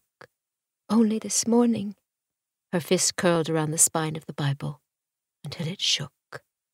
Outside, the piercing keening she ought to have expected started up. First one lonely, high pitched voice, and then as others joined in, a chorus of them, all screeching shrilly at the top of their lungs. The sound of the village women mourning grated on RyAnne's nerves and made her want to rage at the world. Before she realized her own intent, she hurled the Bible across the hut with a guttural cry. Splayed pages splattered against the mud wall, and then fell to her bed. She stared at the ruffled mess, feeling immense guilt for having treated something so precious in such a manner. And then the first sob heaved up from inside her, followed by a second and a third. Her knees started to give, but then Trent was there, wrapping her in a firm embrace and pressing her head to his chest. She hadn't even known he'd returned. I'm here, RyAnne. I'm sorry.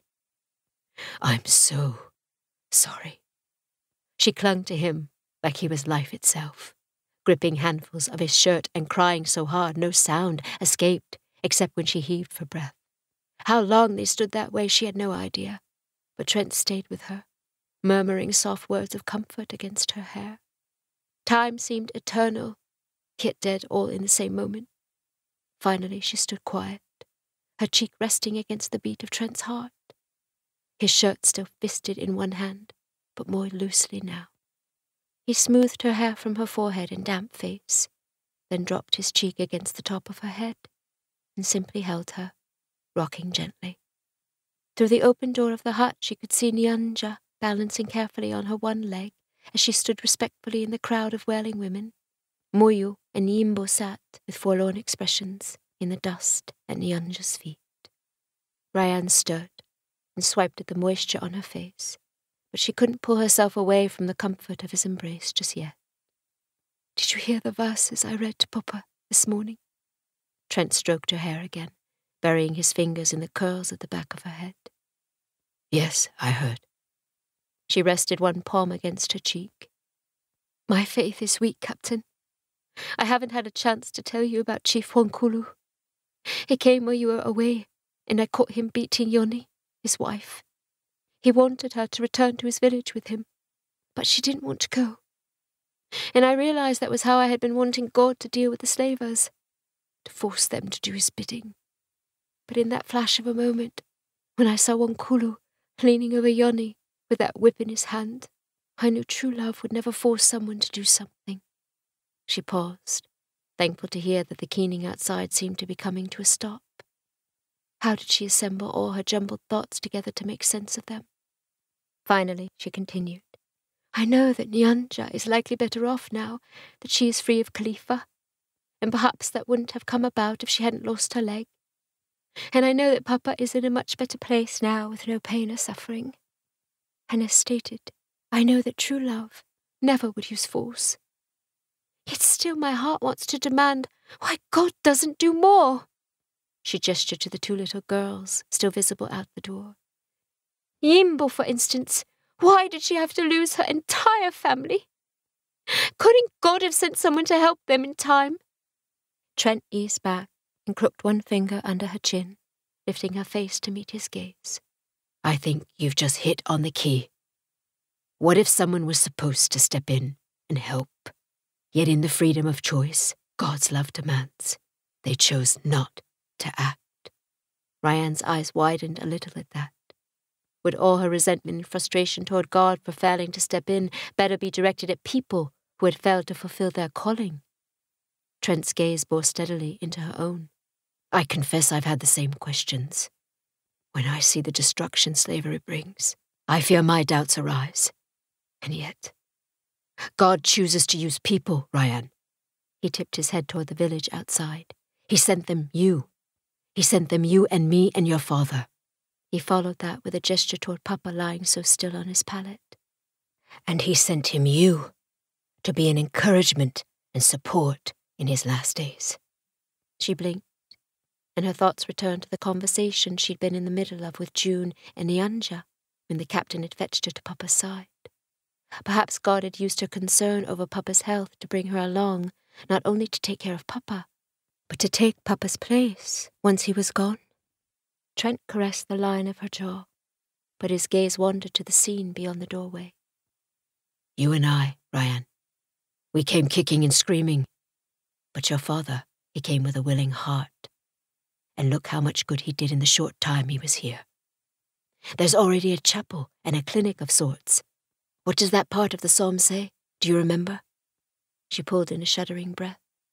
To do justice to the fatherless and the oppressed, that the man of the earth may oppress no more. He murmured his agreement.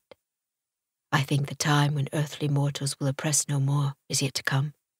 But in the meantime, we are here, and God wants to use us. We must take up our crosses give our fleshly desires over to God so He can show us what He wants of us, just like He did for your father. Let us defend the fatherless and work for the oppressed as willing tools in His arsenal. RyAnne nodded. I said, My faith is weak. Yet who else but God holds the words of life? I don't see how we can do anything else. She glanced at Papa, and another wave of tears coursed over her. On the other hand, I don't know if I have the strength to aid anyone. Trent lifted her face once more, brushing her tears away with his thumbs as he cupped her cheeks in his hands. I'm here. I'm not going anywhere. Lean on me, but mostly lean on the Lord.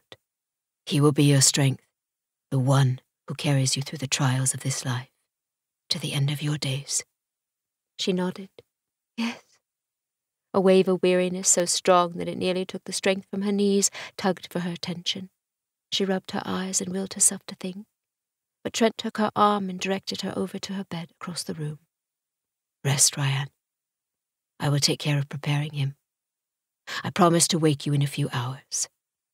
She gave in to him, too weary to fight.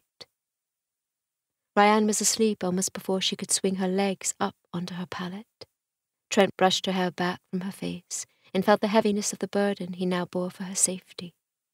Only a bit ago, when he'd stepped out to let the village know of the doctor's passing, Keiko had confided to Trent that RyAnne had told June and Nyanja she carried native blood.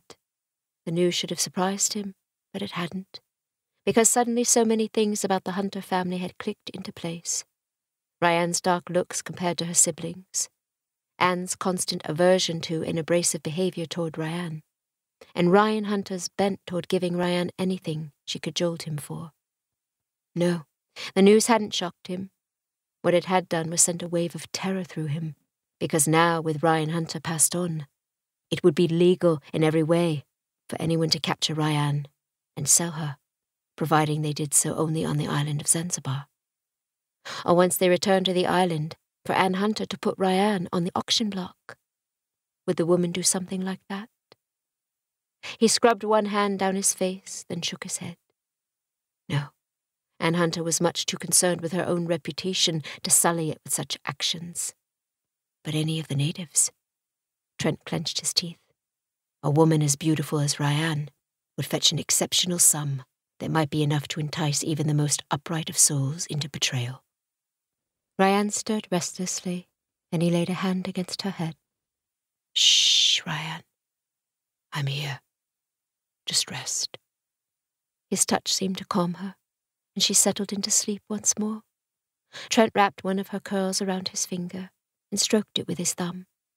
Four months ago he would have scoffed at anyone who told him he would come to care for the girl, and now all he could think about was that he must do everything in his power to protect her. He would get her back to Stone Town as soon as possible. But for now, he needed to get her father's body ready for burial. He rose quietly, so as not to disturb her. Wankulu had been escorted from the village at the point of several spears and sent along his way with a firm invective never to return. Now he stood by the side of the path, hands clasped behind his head, and watched the path that had remained empty since the headman had returned to the village. He pivoted and scanned the path in the direction of what had once been his own prosperous village, before the Azungu had come along and encouraged the rebellion of all his subjects, including his wife. Bah! He needed to think. A large baobab grew to the side of the path, casting a long patch of shade, and he strode to it and squatted to his haunches to think. He was still sitting thus when two men on their way out for a hunt stopped by to give him the news. The Azungu doctor was dead, and it had come to be known that the Azungu woman carried some blood of the people in her veins. Because of this, her father was being given the highest honor of burial in the graveyard of the chiefs. Wankulu grunted his acknowledgement of the news, but as the two men walked away, he plucked a blade of grass and tucked it between his teeth a gleam of satisfaction in his eyes. So, the Azungu woman who had run him out of his hut at the point of a gun wasn't so Azungu after all. And it was obvious this woman was of great interest to the Azungu captain, who had encouraged both Wankulu's wife and his people to abandon him.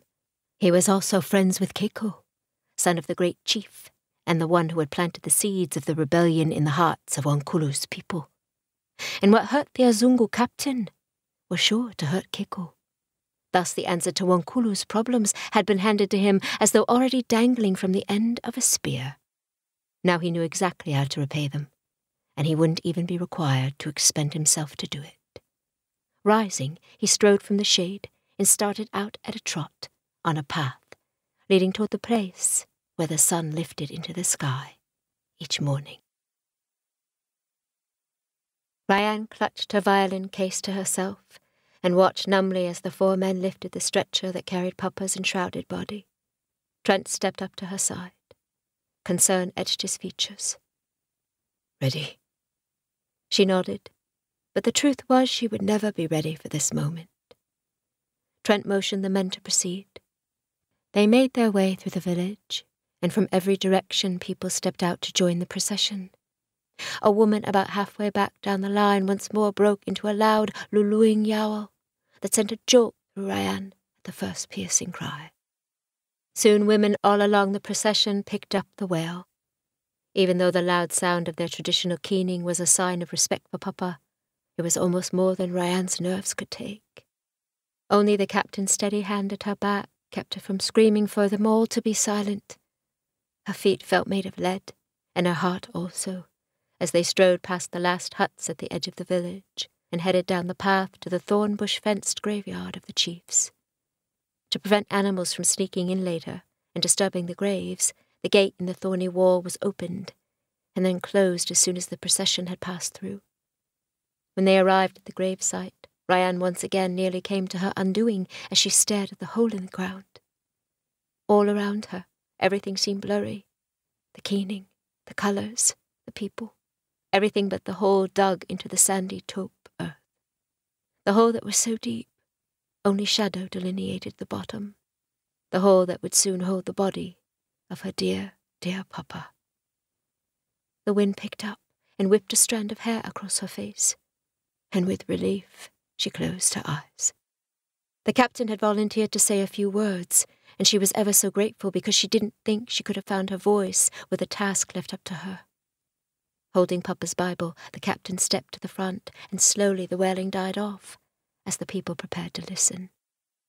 As the silence descended, RyAnne felt the release of some of her tension. She pulled in a calming breath, brushed her hair from her face, and turned her gaze to the swaying fronds of the palm tree overhead. She didn't want her last glimpse of Papa to be one of him being lowered into the ground. But she couldn't block out the sounds of scuffing and the swish and soft thud as Papa's body slid from the stretcher into his grave. She blinked hard to hold the tears at bay, knowing that if she let them start, she would have a hard time putting a stop to them again. Finally, the four bearers stepped back and RyAnne allowed her focus to descend from the tree tops. With Keiko by his side, as translator, the captain spoke. For the past weeks, the doctor has talked to you in his chapel of a God who wants only the best for you. He paused, waiting for Keiko to translate. That same God has a place of peace for us to go when we die. The good doctor is there even now, because the Bible, God's word, assures us that to be absent from the body is to be present with our Lord.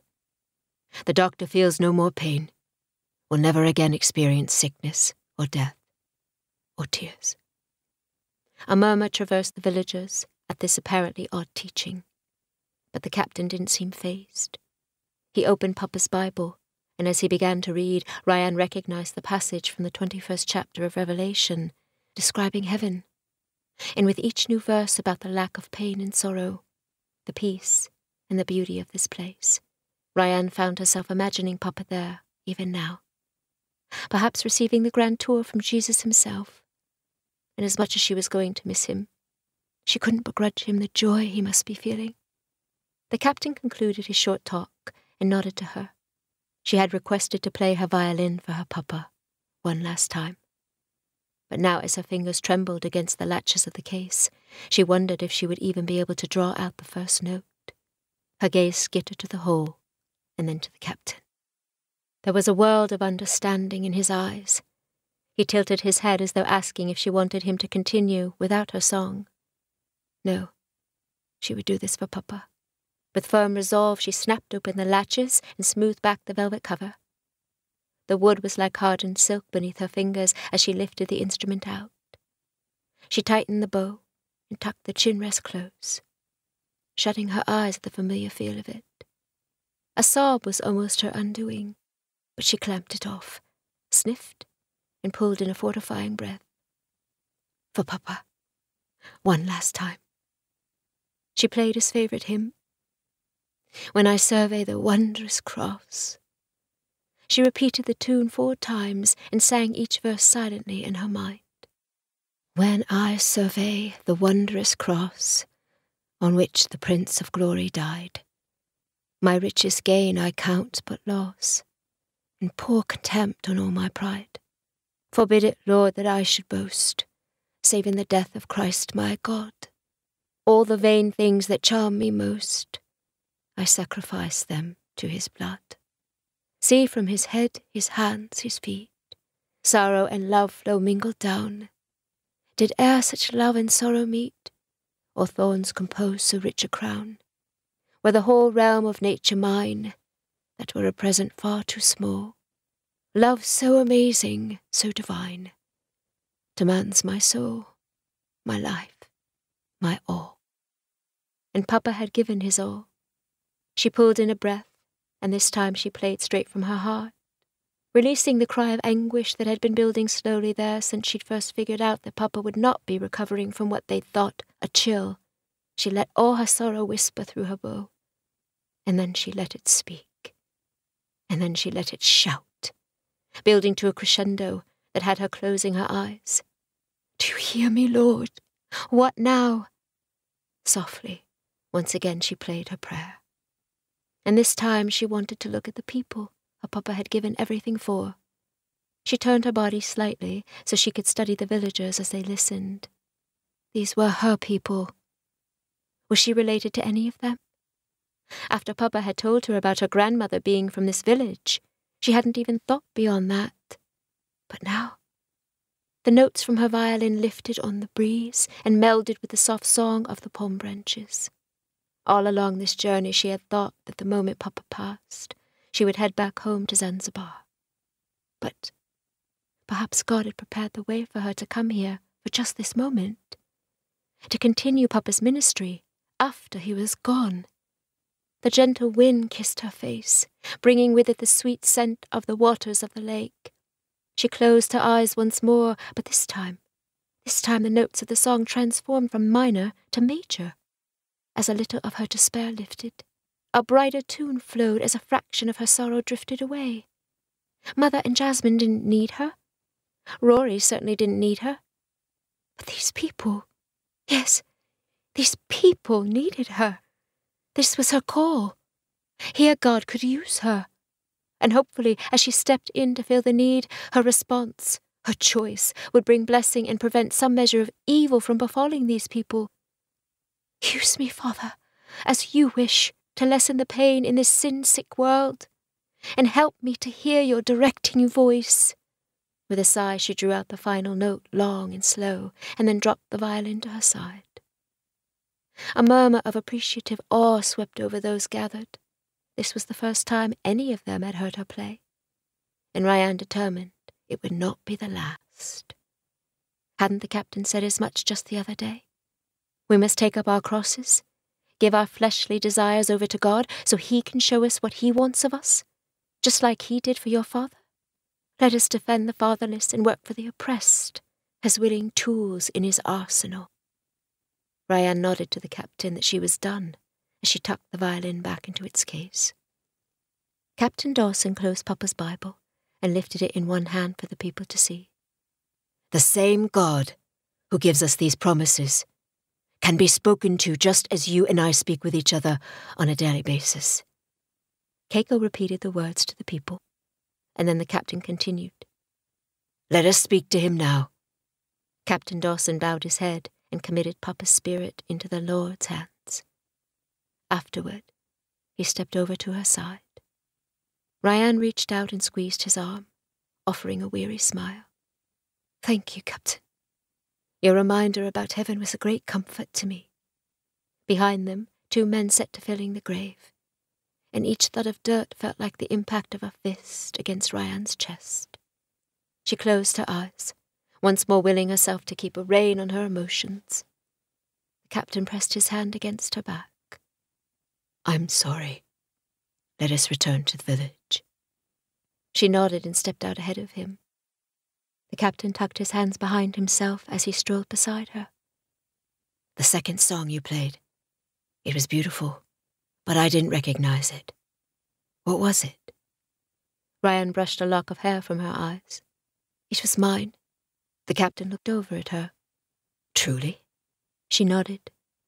Sometimes a tune has just been building inside me, and I have to let it out. Do you ever mark them down? RyAnne shrugged. I'm no composer, Captain. They had arrived at her hut, and they paused outside the door. The song you just played belies your words. You have a wonderful talent, as I've told you in the past. You should mark the songs down. RyAnne had no rejoinder for that, so she merely looked down at her clasped hands. The captain's feet shuffled. We've plans to discuss, but I can see you are weary. Rest for a while, and I'll return this evening. RyAnne was weary, but there was no need for the captain to make any plans. She set her violin case inside the door and spoke to him over her shoulder. I've decided to stay. He actually jolted, then folded his arms over his chest, his white shirt billowing in the breeze. You've what? Challenge radiated from his every pore. You said it yourself. We must take up our crosses and serve as the Lord asks us to. Yes, I said it, but things have changed. He kicked at a stone, then looked out toward the waves cresting onto the shore. RyAnne felt something go still inside her. What has changed? The captain's jaw bunched. You were only here for your father, not for the Lord. Don't mistake duty for calling. RyAnne tilted her head and studied the village huts she could see spread along the perimeter of the lake. Perhaps, she waved a hand. I've no will to argue at the moment. Can we talk about this another time? His lips thinned. Rest for now. But yes, we will speak of this again. She ought to tell him her decision was made, and there would be no profit for him in further discussion. But her capacity for keeping her composure was just about expired. She needed some privacy. She retreated into her hut. Thank you, Captain. And with that, she closed the door, strode across the room, and collapsed onto her cot. She gave in to the wave of grief pulsing over her, and great sobs shook her. Part 4 Wankulu found the men he'd been searching for, just as the sun rose above the mountains to the east. He had run from one village to the next all day and all night, but now he would tell his tale. And then he would sleep most peacefully, knowing his enemies would be repaid for their wrongs against him. The slavers were just rising, and the Arab squatted near the fire, holding his hands to the flames as a pot steamed in the fire centre. Wankulu approached the edge of the light, dropped to one knee, bowed his head, and clapped his hands. The deference grated, but it would hopefully gain him favour. To his right, he could hear the clang of metallic links tinking together. The sound sent a jolt of trepidation through him. Perhaps this hadn't been the wisest move on his part. It was rather like marching up to the outskirts of a pride of lions and then announcing himself. Perhaps he should retreat and rethink his intended revenge. But before he had time to move, the call for him to enter the circle of light rang out. Loani! To retreat now that he had been acknowledged would have the lions chasing him down. So pressing down his panic, he stood, scooted forward a few steps, and then lowered himself to one knee again. If he played this right, perhaps the spirits would ensure that he didn't end up chained to the line of slaves. Speak, one of the traders prodded. What is your purpose? Wankulu kept his face turned toward the ground. It is my understanding that you are not only searching for strong, healthy slaves, but for beautiful women also. A quick glance showed the Arab appeared more interested in picking at his teeth with a stem of grass than in Wankulu's Kulu's news. He felt a bead of sweat slip between his shoulder blades. Finally, the trader responded. What of it? I know of a village that is very prosperous. Their chief works his people hard, so their gardens grow lush, and they are a vigorous and strong people. There are many such villages all along the way. The disinterest in the man's tone was leaning toward irritation now. Wankulu willed away his trembling. Yes, this is true. But in this village, there is a woman of great beauty. One who would fetch three, maybe four times the amount that any of those might fetch you. He tipped a nod toward the sound of the chains. The Arab lowered the grass stem, tilted his head. Tell me more. Wankulu licked his lips and pressed down his excitement. First, let us speak of my price. Far to the north, a coastal town, along the Gulf of Aden, lay baking in the sun. A ship flying the flag of England, but most freshly from trading their goods in Oman, pulled into the harbour. But no stevedore strode out to meet her. The captain docked the ship, and for a long moment he and his crew stood in the breeze on the deck, staring at the seemingly abandoned docks. A gull whined far above them, answered by another. Waves sloshed against the underside of the dock in a constant rhythm, and off to the right a mongrel sat on its haunches, eyeing them. But not a soul stirred. The captain tested the scent of the wind. Fetid fish, briny water, moss, mould, dust, all scents common to a wharf, but missing with a sense of alehouse meals and wood smoke. After a moment, one sailor covered himself with the sign of the cross. "'Tis an omen cup. Ought to be moving. Out to the next town we should. The captain was never one to go in for superstition, however, and he brushed away his crewmen's concerns. We've need of water, Jonesy. He snapped his fingers at his first mate. Send a crew ashore to see what's about. Look sharp. The market square, which should have been filled with the bustle of activity, lay silent as a grave. Only the scuttle of a leaf scooting along the cobbles created any sound. One of the sailors bumped into the first mate from behind. Gives me an eerie feeling, this does, sir. Let us water up right fast, so as to be on our way. I concur. The first mate shuddered and motioned back toward the ship. Bring the buckets. The city well lay in the market square close to the harbour side and while several men dashed back to the ship to fetch buckets, two others set to drawing up the first fresh water from the depths. Never had the brigade worked so quickly or so smoothly with each other. To a man, they were all eager to be shut of the place. Above them, a buzzard loosed a loud cry that set several of the men to crossing themselves, and the buckets moved down the line even faster after that. By the time they left the town, still not a soul had come into sight. But the wind was strong, and filled their sails like the overfilled cheeks of a hungry babe. They sailed for fifteen minutes in utter silence. And then Charles Cottrell, the newest member of the crew, socked the man next to him in the arm. The two men looked at one another and burst out laughing as relief at being away from the place set in.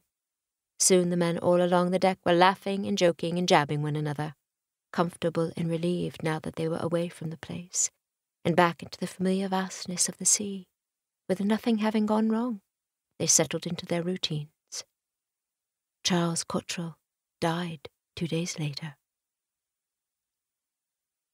Jasmine Hunter was still laughing at the antics of one of her students as she pulled on her gloves and stepped from the small cottage they were using for a schoolhouse. Garrett Holloman, dressed in tight black breeches and a free flowing white shirt, was leaning arms folded against the nutmeg tree at the edge of the schoolyard. Jasmine halted gave her gloves an irritated tug, and then strode toward him. I told you I didn't need you to walk me home. He straightened languidly and leaned into his heels. And I told you I would be here. You may walk several paces ahead of me if you don't like the idea of being seen with me. She sniffed. It has nothing to do with not wanting to be seen with you. She spun and started down the road at a fast clip. Maybe he would get the message and leave her be for her heart was certainly taking a beating each time he came around, and she didn't know if it would last the month if he insisted on showing up every day to walk her home from classes. Doesn't it? His brows lifted, and he fell into step beside her. Well, hope lifts all ships. Jasmine spun toward him. What does that mean? Garrett battered away her question, and then lifted his hand to work the muscles in his neck. Nothing. Forget I said anything. You may be a man who can easily forget things that are said, but I assure you, I am not of that ilk. Jasmine took a calming breath, her cheeks heating over the fury coating the words she just flung at him, and before he could take note of it, she spun away and resumed her smart march toward town. He wasn't far behind. And now it is my turn to ask what you mean, Miss Hunter. Nothing. Forget I said anything. She tossed his own words back in his face aggravated that he seemed to be casually strolling, and yet still kept pace with her. So, it appears we are at yet another impasse. Shocking, I must say. The sarcasm dripping from his words could have drowned an army. She spun toward him and stopped, no matter that they were right in the middle of the road.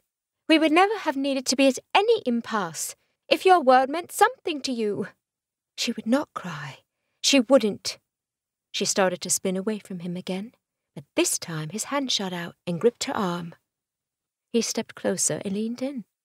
My word means everything to me, Miss Hunter. And if you are suggesting I lied to you about something, I certainly would like to know to what you are referring. Anger glinted in the depths of his blue eyes. Jasmine sniffed and lifted her chin, blinking hard, but refusing to look away. Problem was, she couldn't very well say anything without revealing too much of her heart, and she would rather die than let this pompous, arrogant knave know he had hurt her. It was nothing. His hand tightened on her arm, and he tilted her a look. Jazz, don't call me that. You have no right. Don't I? He stepped closer, his countenance softening. I thought the time we spent together meant as much to you as it did to me. And then you left, without so much as a fare thee well. The words were out before she could rethink them. It was his confounded eyes. She couldn't look into that velvety blue without falling headlong into honesty. Without so much as a fare? He stepped back and lowered his chin, folding his arms. So the silver tea service I sent over, the one that I paid a good bit of coin to have your name in a cluster of jasmine flowers engraved on, that counted for nothing, and the letter that accompanied it, asking you to wait? Oh, dash it! He swiped a hand through the air as though wishing he could erase this entire conversation, and started off toward town. Never mind. But Jasmine wasn't going to let him off so easy. Whatever was he talking about? I have no idea what you mean, but I can assure you that I never received such a gift from you, nor a letter. He paused and spun toward her. Come again. Jasmine felt the hard and stony places inside her turn soft, like Mamma's sponge cake, sopped in strawberry juice. Could the man really have sent such a gift to her? And what had he said in the letter? Asked her to wait? Wait for what? Her heart rate picked up at just the thought of the answer. It could have changed everything she'd been feeling for the past month if it was true. Could change everything now. Her mouth went dry. She lifted her skirts and stepped past him. I think this conversation has run its course, Mr. Holloman. Let's just head into town, if you please. The irritating man muttered something as he strode out after her. She couldn't quite make it out, but it sounded like he said, Oh, I'll head into town, and that's for certain. Two weeks later, Trent intercepted June as she was bringing some dinner to RyAnne at her hut. On every occasion that he'd set himself to the task of convincing RyAnne it was time to return home, his conscience had pricked him to give her a few more days to grieve. But now the task could be delayed no longer. Reports of unrest in the surrounding villages were growing. Runners came daily to report another village had been sacked. Either a new slave trader was making his way through the area, or Khalifa had reversed his course and was backtracking.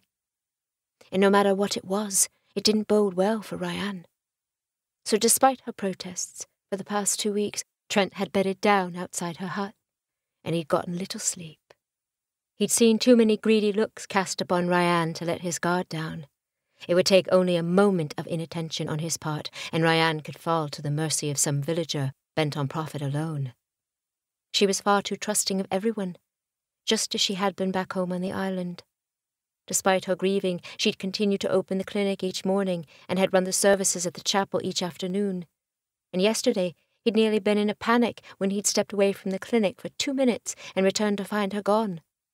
His relief when he found her tending to the newest village baby had nearly taken the strength from his knees.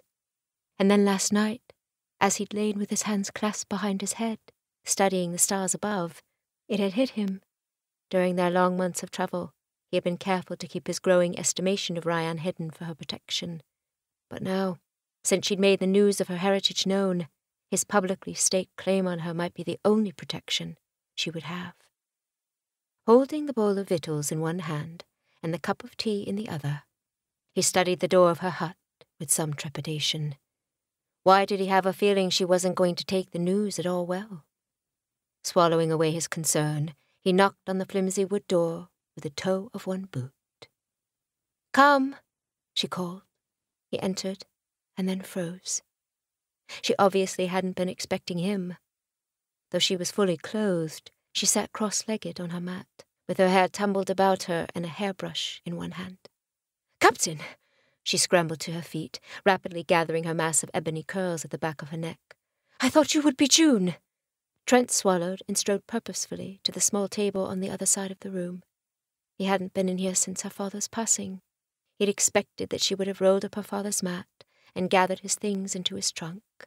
But every item lay almost exactly as it had the last time he'd been in here. Trent rested his fingers against the table and kept his back to her, giving her time to put herself together. The vision of her hair cascading all about her slender shoulders returned to him, and he closed his eyes against it. After a moment, she spoke. What can I do for you, Captain? Taking that as permission, he turned to face her. She stood quietly, hands folded before her. No fancy silks or lace, and with nothing but a mud wall behind her. And she was still the most beautiful woman he'd ever seen. His first instinct was to blurt out that she should marry him, but that wouldn't do at all. He bit one side of his lip. Blast this infernal wasteland with no priest or pastor for hundreds of miles. He must think his next words through carefully, or she would laugh him right out the door, and rightly so. He folded his arms. Perhaps he could quietly stake his claim on her among the villagers, without even having to bring her in on the plan? Yes, that might keep her safe in the short term, but his main goal needed to be in taking her back to Zanzibar. Before your father passed, he asked that I do all in my power to protect you after he was gone. At the mention of her father, she blinked several times and smoothed her hands over her skirts. Yes, I know that, and I thank you.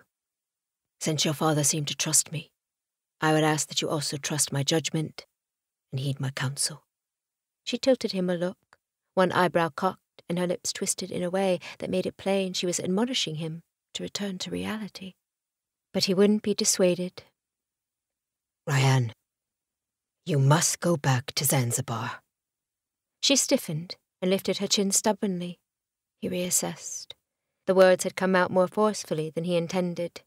To soften their impact, he added, Your family will be worried about you once they hear of your father's passing. She brushed the thought away with a swipe of one hand.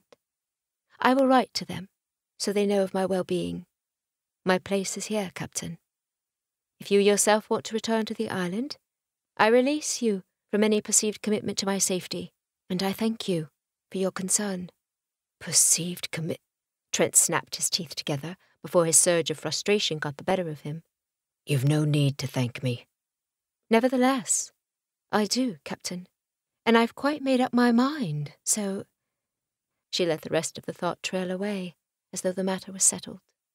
Perhaps a reminder of what she'd so stubbornly wanted only weeks ago was in order, Think back to the time we spent on Commodore Llewellyn's estate. You would have done just about anything to return to Zanzibar then. She sighed and pressed her palms together. Yes, but that was before, a sweep of her hand encompassed the village. I met these people, before I knew they were my people, and recognized how much I could do to help them. You yourself said just the other day that perhaps much of the evil in the world happens because people don't heed God's call to step in. My family will be fine without me, Captain. But here, they need me. You are the most stubborn woman on the face of the earth! The words burst forth before he could lay hold of them. Her gaze flew to his, her mouth falling open slightly. He scraped one hand through his hair and gripped the back of his neck. I'm sorry. I shouldn't have spoken so harshly. I just feel the burden for your safety quite heavily. He worked his teeth over his lip. Perhaps the best thing was to tell her his feelings outright. He softened his tone. My commitment is not out of duty to your father's request. Even had he asked me to leave you to your own devices after his passing, yet I would be here still. He held her focus steadily, willing her to see the true meaning of the word shining in his eyes. She licked her lips. Captain, perhaps you have not heard. I've wanted to tell you many times, but couldn't quite decide how to approach the subject. When her voice trailed away, he decided to make it easy on her. Keiko has informed me that your birth mother was a slave. She squinted at him, as though trying to assess how he felt about the information. You know? And still you are here? He frowned. Why would I not be here? It's just that most men would have. She pivoted partially away from him, rolled her lips in and pressed them together, then paced to the door he'd left open upon his entry and stared out toward the lake. Only a couple months passed. You informed me naught could grow between us, Captain. There was a beat, and then she continued. I've resigned myself to this reality. The words were like a spear thrust to his heart, yet the hand she laid against the doorpost at her shoulder trembled, and that gave him hope. All that has changed now. Where once my veneration of you might have brought you danger, now that you have made your heritage known, a relationship with me might be your only safety. Her hand on the doorpost clenched into a fist. I see. So, tis only for my safety that you. She tossed him a glance, then folded her arms. I knew full well the danger I might be placing myself in when I disclosed my secret, Captain, and I'll not have you sacrifice all you hold dear simply because you are concerned for my well being. Whatever was she talking about? A few swift strides placed him at her side, where he took her hand and turned her to face him. Apparently, I have not made it clear enough that all I hold most dear in the world stands directly before me. He raised one hand to touch her chin and heard her take in a small breath. Trent, please don't toy with me. He felt one side of his mouth lift on the tug of a smile for she'd said his name on her own without him having to beg her for it. Her chin was soft under the caress of his knuckle. Always I have endeavoured to honesty. Yet now you would accuse me of toying, little lioness. Back along the trail, I got the impression you were courting a woman, in the Americas, perhaps. What about her? Trent didn't even try to prevent the bark of laughter that burst forth. Courting a woman? In the Americas? Whatever gave you such an idea? Her lips turned petulant. When you said you couldn't see me, I presume there was another. He drew her hand against his chest. My reasons for not seeing you were to keep you far from danger, as stated. But trust me when I say that on many an occasion my heart has protested the requirement for distance I laid upon myself. She still didn't look convinced. There is not, nor has there ever been, another woman in my life, save my mother, God rest her. He tucked a wayward strand of her hair back into place. RyAnne tilted her head. Do you only woo me in an attempt to gain my capitulation to return to Zanzibar? He shook his head. Never. Her lips quirked. The first inclination that he might have been ensnared in a trap zipped through him. Good then, for I am quite determined to stay. As she giggled, he growled. If that pleading look you are casting my way elicited in your father anywhere near the same desire to satisfy you as it does in me, it is no wonder the man constantly let you have your way. A gentle blush touched her cheeks, and she fanned herself with one hand. Will you walk with me along the shore? I have a sudden desire for some fresh air. Trent's sudden desire had more to do with bumping the door closed and kissing her until they were both out of breath but for now he contented himself with tucking her hand against his arm and leading her out into the evening breeze. From a fishing canoe out upon the lake, Khalifa peered through his field glasses toward the hut at one end of the village where Wankulu had assured him this woman of most unusual beauty lived. Beside him, Wankulu prodded for the hundredth time. Can you see her yet? Khalifa lowered the glasses to glower at the man. Stop pestering. I will let you know if I see anything. Before resuming his scrutiny, he rolled his neck first to one side and then to the other. This weight, with the heat of the sun beating down on him and the sweat dripping out from beneath his kufiyah, was beginning to wear on him. Wankulu couldn't be setting him up in some way with false information, could he? It was not the first time he'd had the thought, and for that reason he'd brought an extra guard with him in the canoe but he suddenly realized that Wankulu could have bribed the man. For which native ever had been faithful and trustworthy? He eyed his guard carefully. The man sat, arms folded and stoic, at the back of the canoe. Deciding he was being paranoid, Khalifa lifted the glasses back to his eyes just in time to see a flash of motion near the door of the hut. Someone had entered the abode, and he'd missed seeing who it was. The door was left open now, but the interior was too dark for him to make anything out. With frustration, he lowered the glasses again and swiped at a trickle of sweat slipping down the back of his neck. Wankulu had been able to tell him very little about the woman, other than that she was fair skinned and had recently arrived at the village. But he'd been most adamant that she would fetch a soaring price on an auction block. Perhaps the woman was descended from one of the tribes far to the north. Many of them were quite light skinned. He caught a flicker of movement and lifted the glasses. Someone was in the doorway, but standing just far enough back to remain mostly hidden in shadow. Blast this heat! He scooped his kofia into the lake and dumped a measure of the cool water over his head, shaking away the drippings from his eyes. He would be dry within moments and likely be hot again, but for now the coolness brought great relief.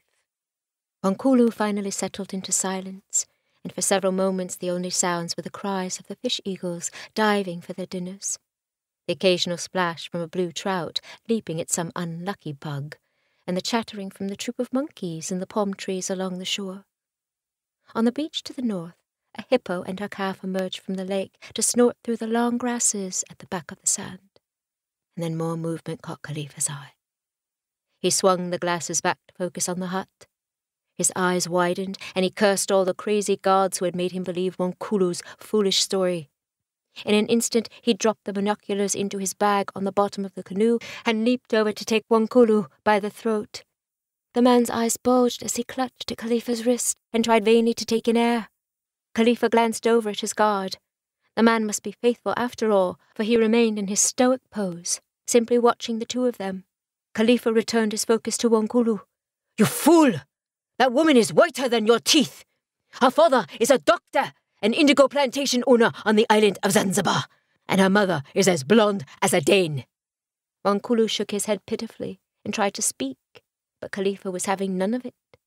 He had sat baking in the sun for an entire afternoon, and he'd returned miles along the trail. He could have been days farther along the way toward the coast and a comfortable bed, but instead he'd agreed to check out the rumour, only to find this. RyAnne Hunter, a black woman. The man was mad. And that had been Dawson at her side. Khalifa had no desire to go up against one such as that. Wankulu's feet scrabbled feebly across the bottom of the canoe now but Khalifa squeezed all the harder. The man had drawn his last breath on this side of the abyss. It was only a moment more before the man's body went limp, and Khalifa motioned for the guard to help him. Together they heaved the man over the side of the canoe. He would be crocodile fodder inside of ten minutes. Khalifa adjusted his kanzu and sank back onto his seat. Thankfully, Wankulu had not soiled it. Return us to the shore, he ordered. Without a word, the guard set the oar into the water and started them forward. But after several strokes, he lifted his gaze to Khalifa and jutted his chin toward the village. This woman's father died not long ago. There is a rumor among the people that her mother was a slave, descended from this region. Khalifa blinked.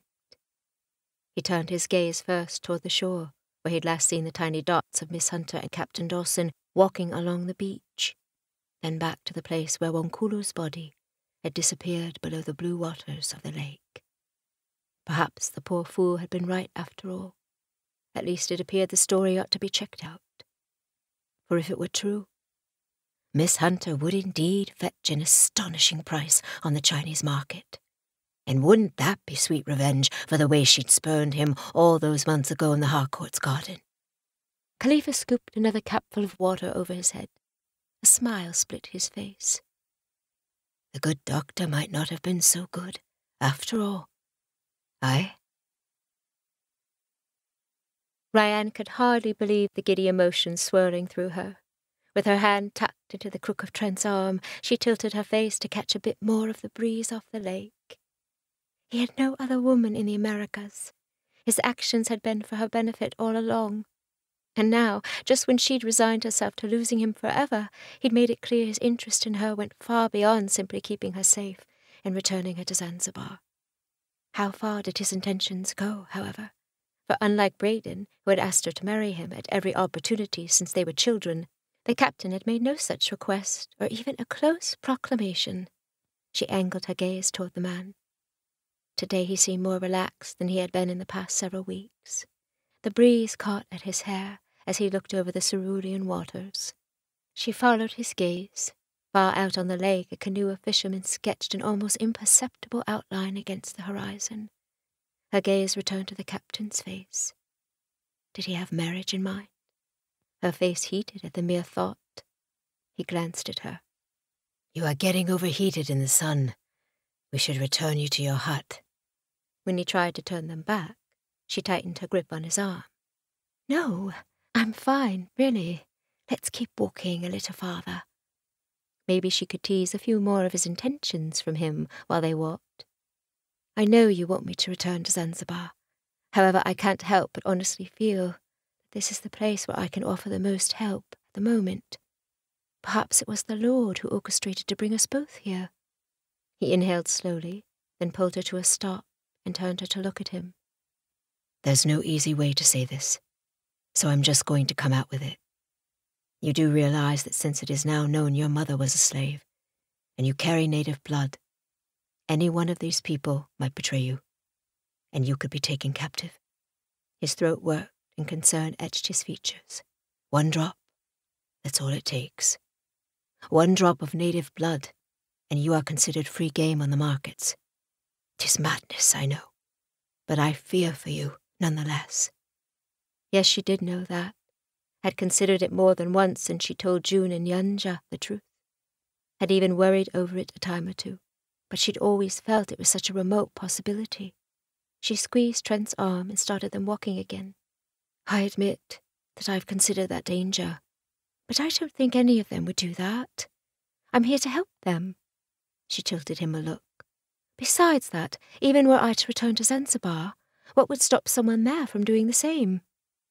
Your parents were wise to keep your lineage a secret, if only for your safety. But there are other ways to ensure your safety. RyAnne clenched her teeth. Still, the man didn't outright mention marriage. Trent seemed to misjudge the reason for her agitation. He covered her hand where it rested against his arm.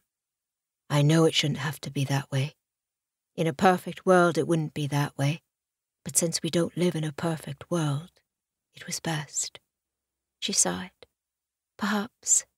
You've taught June so much. She's helped you constantly in the clinic. We can leave her your father's medicines and know that the people here are in good hands. RyAnne stopped beneath a palm tree and lifted her face to study the branches. How does one determine the will of the Lord for their life, do you think? Trent rubbed the back of his neck with one hand. I suppose there's no pat answer. God probably speaks to each person with as much individuality as he used in creating them. So then, how am I to know what is from the Lord? What if he used Papa's sickness and my concern for him to bring me here to help these people, to witness to them in a way that no one else likely can? She turned to survey the village, which now lay far behind them on the beach. But then, she waved her hand. These questions were so complicated she wasn't even sure how to voice them. Trent stepped in front of her and cupped her cheek. But then what if he is speaking through my urgings for you to return to Zanzibar? Is that it? Yes, exactly. When he said it like that, it made the quandary seem rather simple. His lips curled up at the corners. I can tell you which one I think is right. She couldn't help but smile in return, though she dipped her chin and gave him a be serious look. Expression turning somber, he stepped closer to her. His gaze roamed leisurely over her face, from her hairline to her lips, where it paused. He swallowed an inch nearer Often you ask me questions that test the bounds of my theology, RyAnne. I know not the answers. I believe God can speak audibly. I believe He can speak through dreams. I believe He can speak to us in many ways. And I think that as long as we are looking to Him with hearts that long to do His will, we need not fear whether we are doing it or not. Perhaps God leads us by our desires in some cases, first by your desire that your father not be alone at his passing, and now by your desire to help these people who are connected to you in ways you never knew before. So he slipped one hand behind her back and tugged her toward him until they stood pressed together. If this is where you feel the Lord is calling you, I will endeavor to trust the Lord in that and will labor here by your side. Only first, return to Zanzibar with me so we can be married. Sardonic humour twisted her lips. Was that a proposal, Captain? His grin bloomed full. It was rather a bad one, wasn't it? She lifted an eyebrow and touched his chin with one finger. I've had better. From that whelp of a pup Harcourt, no doubt, he growled. She tipped her head back on a giggle, but when she returned her face to the fore, Trent had brought his so near she stopped short. Perhaps a proper proposal should begin with a kiss. What say you, RyAnne? She angled her head, pretending deep thought, but her heart was racing so that she felt sure he could hear it. I believe you may be right, Captain Dawson. He leaned forward until his lips hovered just above hers, grousing quietly. What happened to Trent? She capitulated without protest suddenly wanting more than anything for him to cease delaying. I believe you may be right, Trent. His mouth tilted into a satisfied smile, and then he kissed her, and she feared she may have moaned softly at the bliss of it. His kiss was gentle and sure, smooth and commanding, full of ardour and yet full of restraint. His hand at her waist, he tugged her closer, and footsteps crunched across the sand behind him. Footsteps. She jolted back to peer behind Trent. Trent must have heard the telltale sound too, for he spun around, clutching her to his back in a protective gesture. Over Trent's shoulder she saw a native man with a knife in one hand, nearly upon them. Trent! Trent swiped the man's arm to one side and threw his knee into the man's groin. The native doubled over with a cry. RyAnne, run! Back to the village! Trent never took his eyes off their attacker, who was slowly getting to his feet. RyAnne's boots felt mortared into the sand. The native lunged at Trent again, and again Trent slapped his arm to one side. This time Trent slammed the man's wrist down against his knee, and the knife flew off into the long, swaying grasses growing close by. Trent swung hard, and his fist connected with the man's jaw. Spittle caught the last rays of the sun as it flew in an arc from the man's mouth. Their attacker fell to the sand, and Trent was instantly upon him, his knee pressed firmly against the man's chest. Trent's shoulders moved rapidly as he fought for breath. Seeing that Trent had the upper hand with the man, loosed RyAnne's feet from their roots. She turned to flee toward the village and ran straight into a solid wall of flesh. Khalifa wrapped bony hands firmly around her arms. You! RyAnne tried to jerk away. But Khalifa was strong and able to hold her without struggle. Oh, yes, it's me, the man grinned, his two long teeth yellow beneath the hooked beak of his nose. Let her go! she heard Trent scrambling across the sand behind her. Khalifa's expression hardened, and he spun her around to wrap one arm across her neck. Something clicked next to her head, and she felt the cold press of steel against her temple. Not another step, Dawson! Trent skidded to a halt without even arguing. He lifted his hands, palms out, and all the starch seemed to slip out of him. Seeing that Trent was under control, the native scrambled across the sand and scrabbled through the tall grass where his knife had disappeared. I hear you have been keeping secrets, Miss Hunter.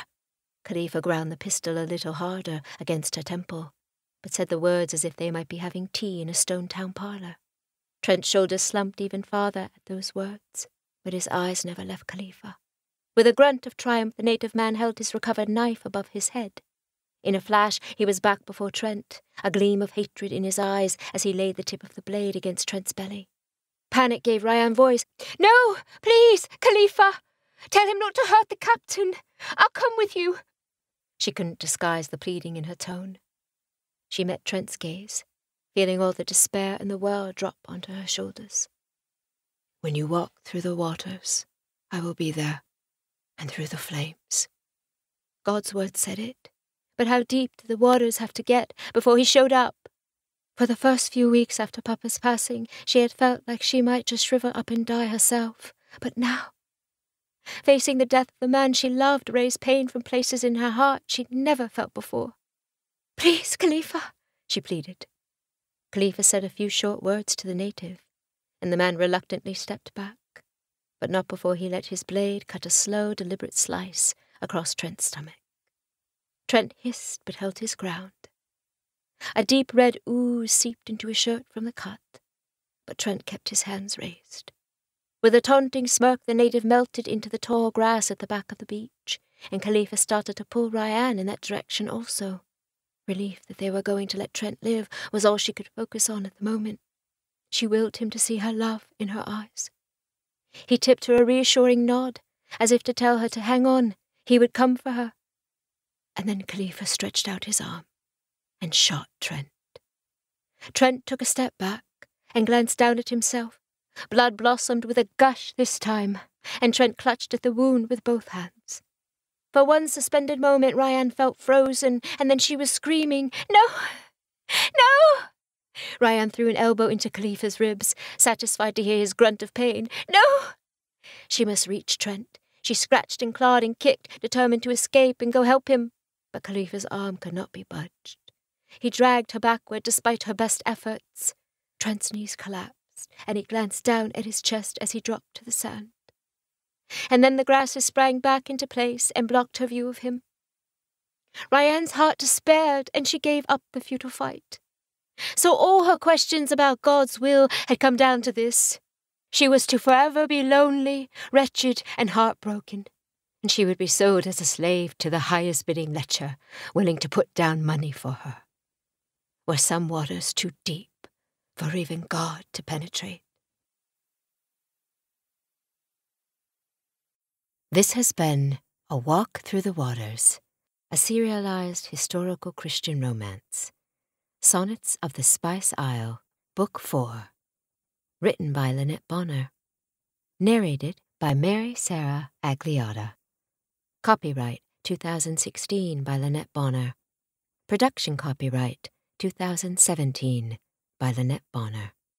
If you enjoyed this audio production of A Walk Through the Waters, continue the story with Episode 5 The Trail of Chains, found on Amazon, Audible, and iTunes.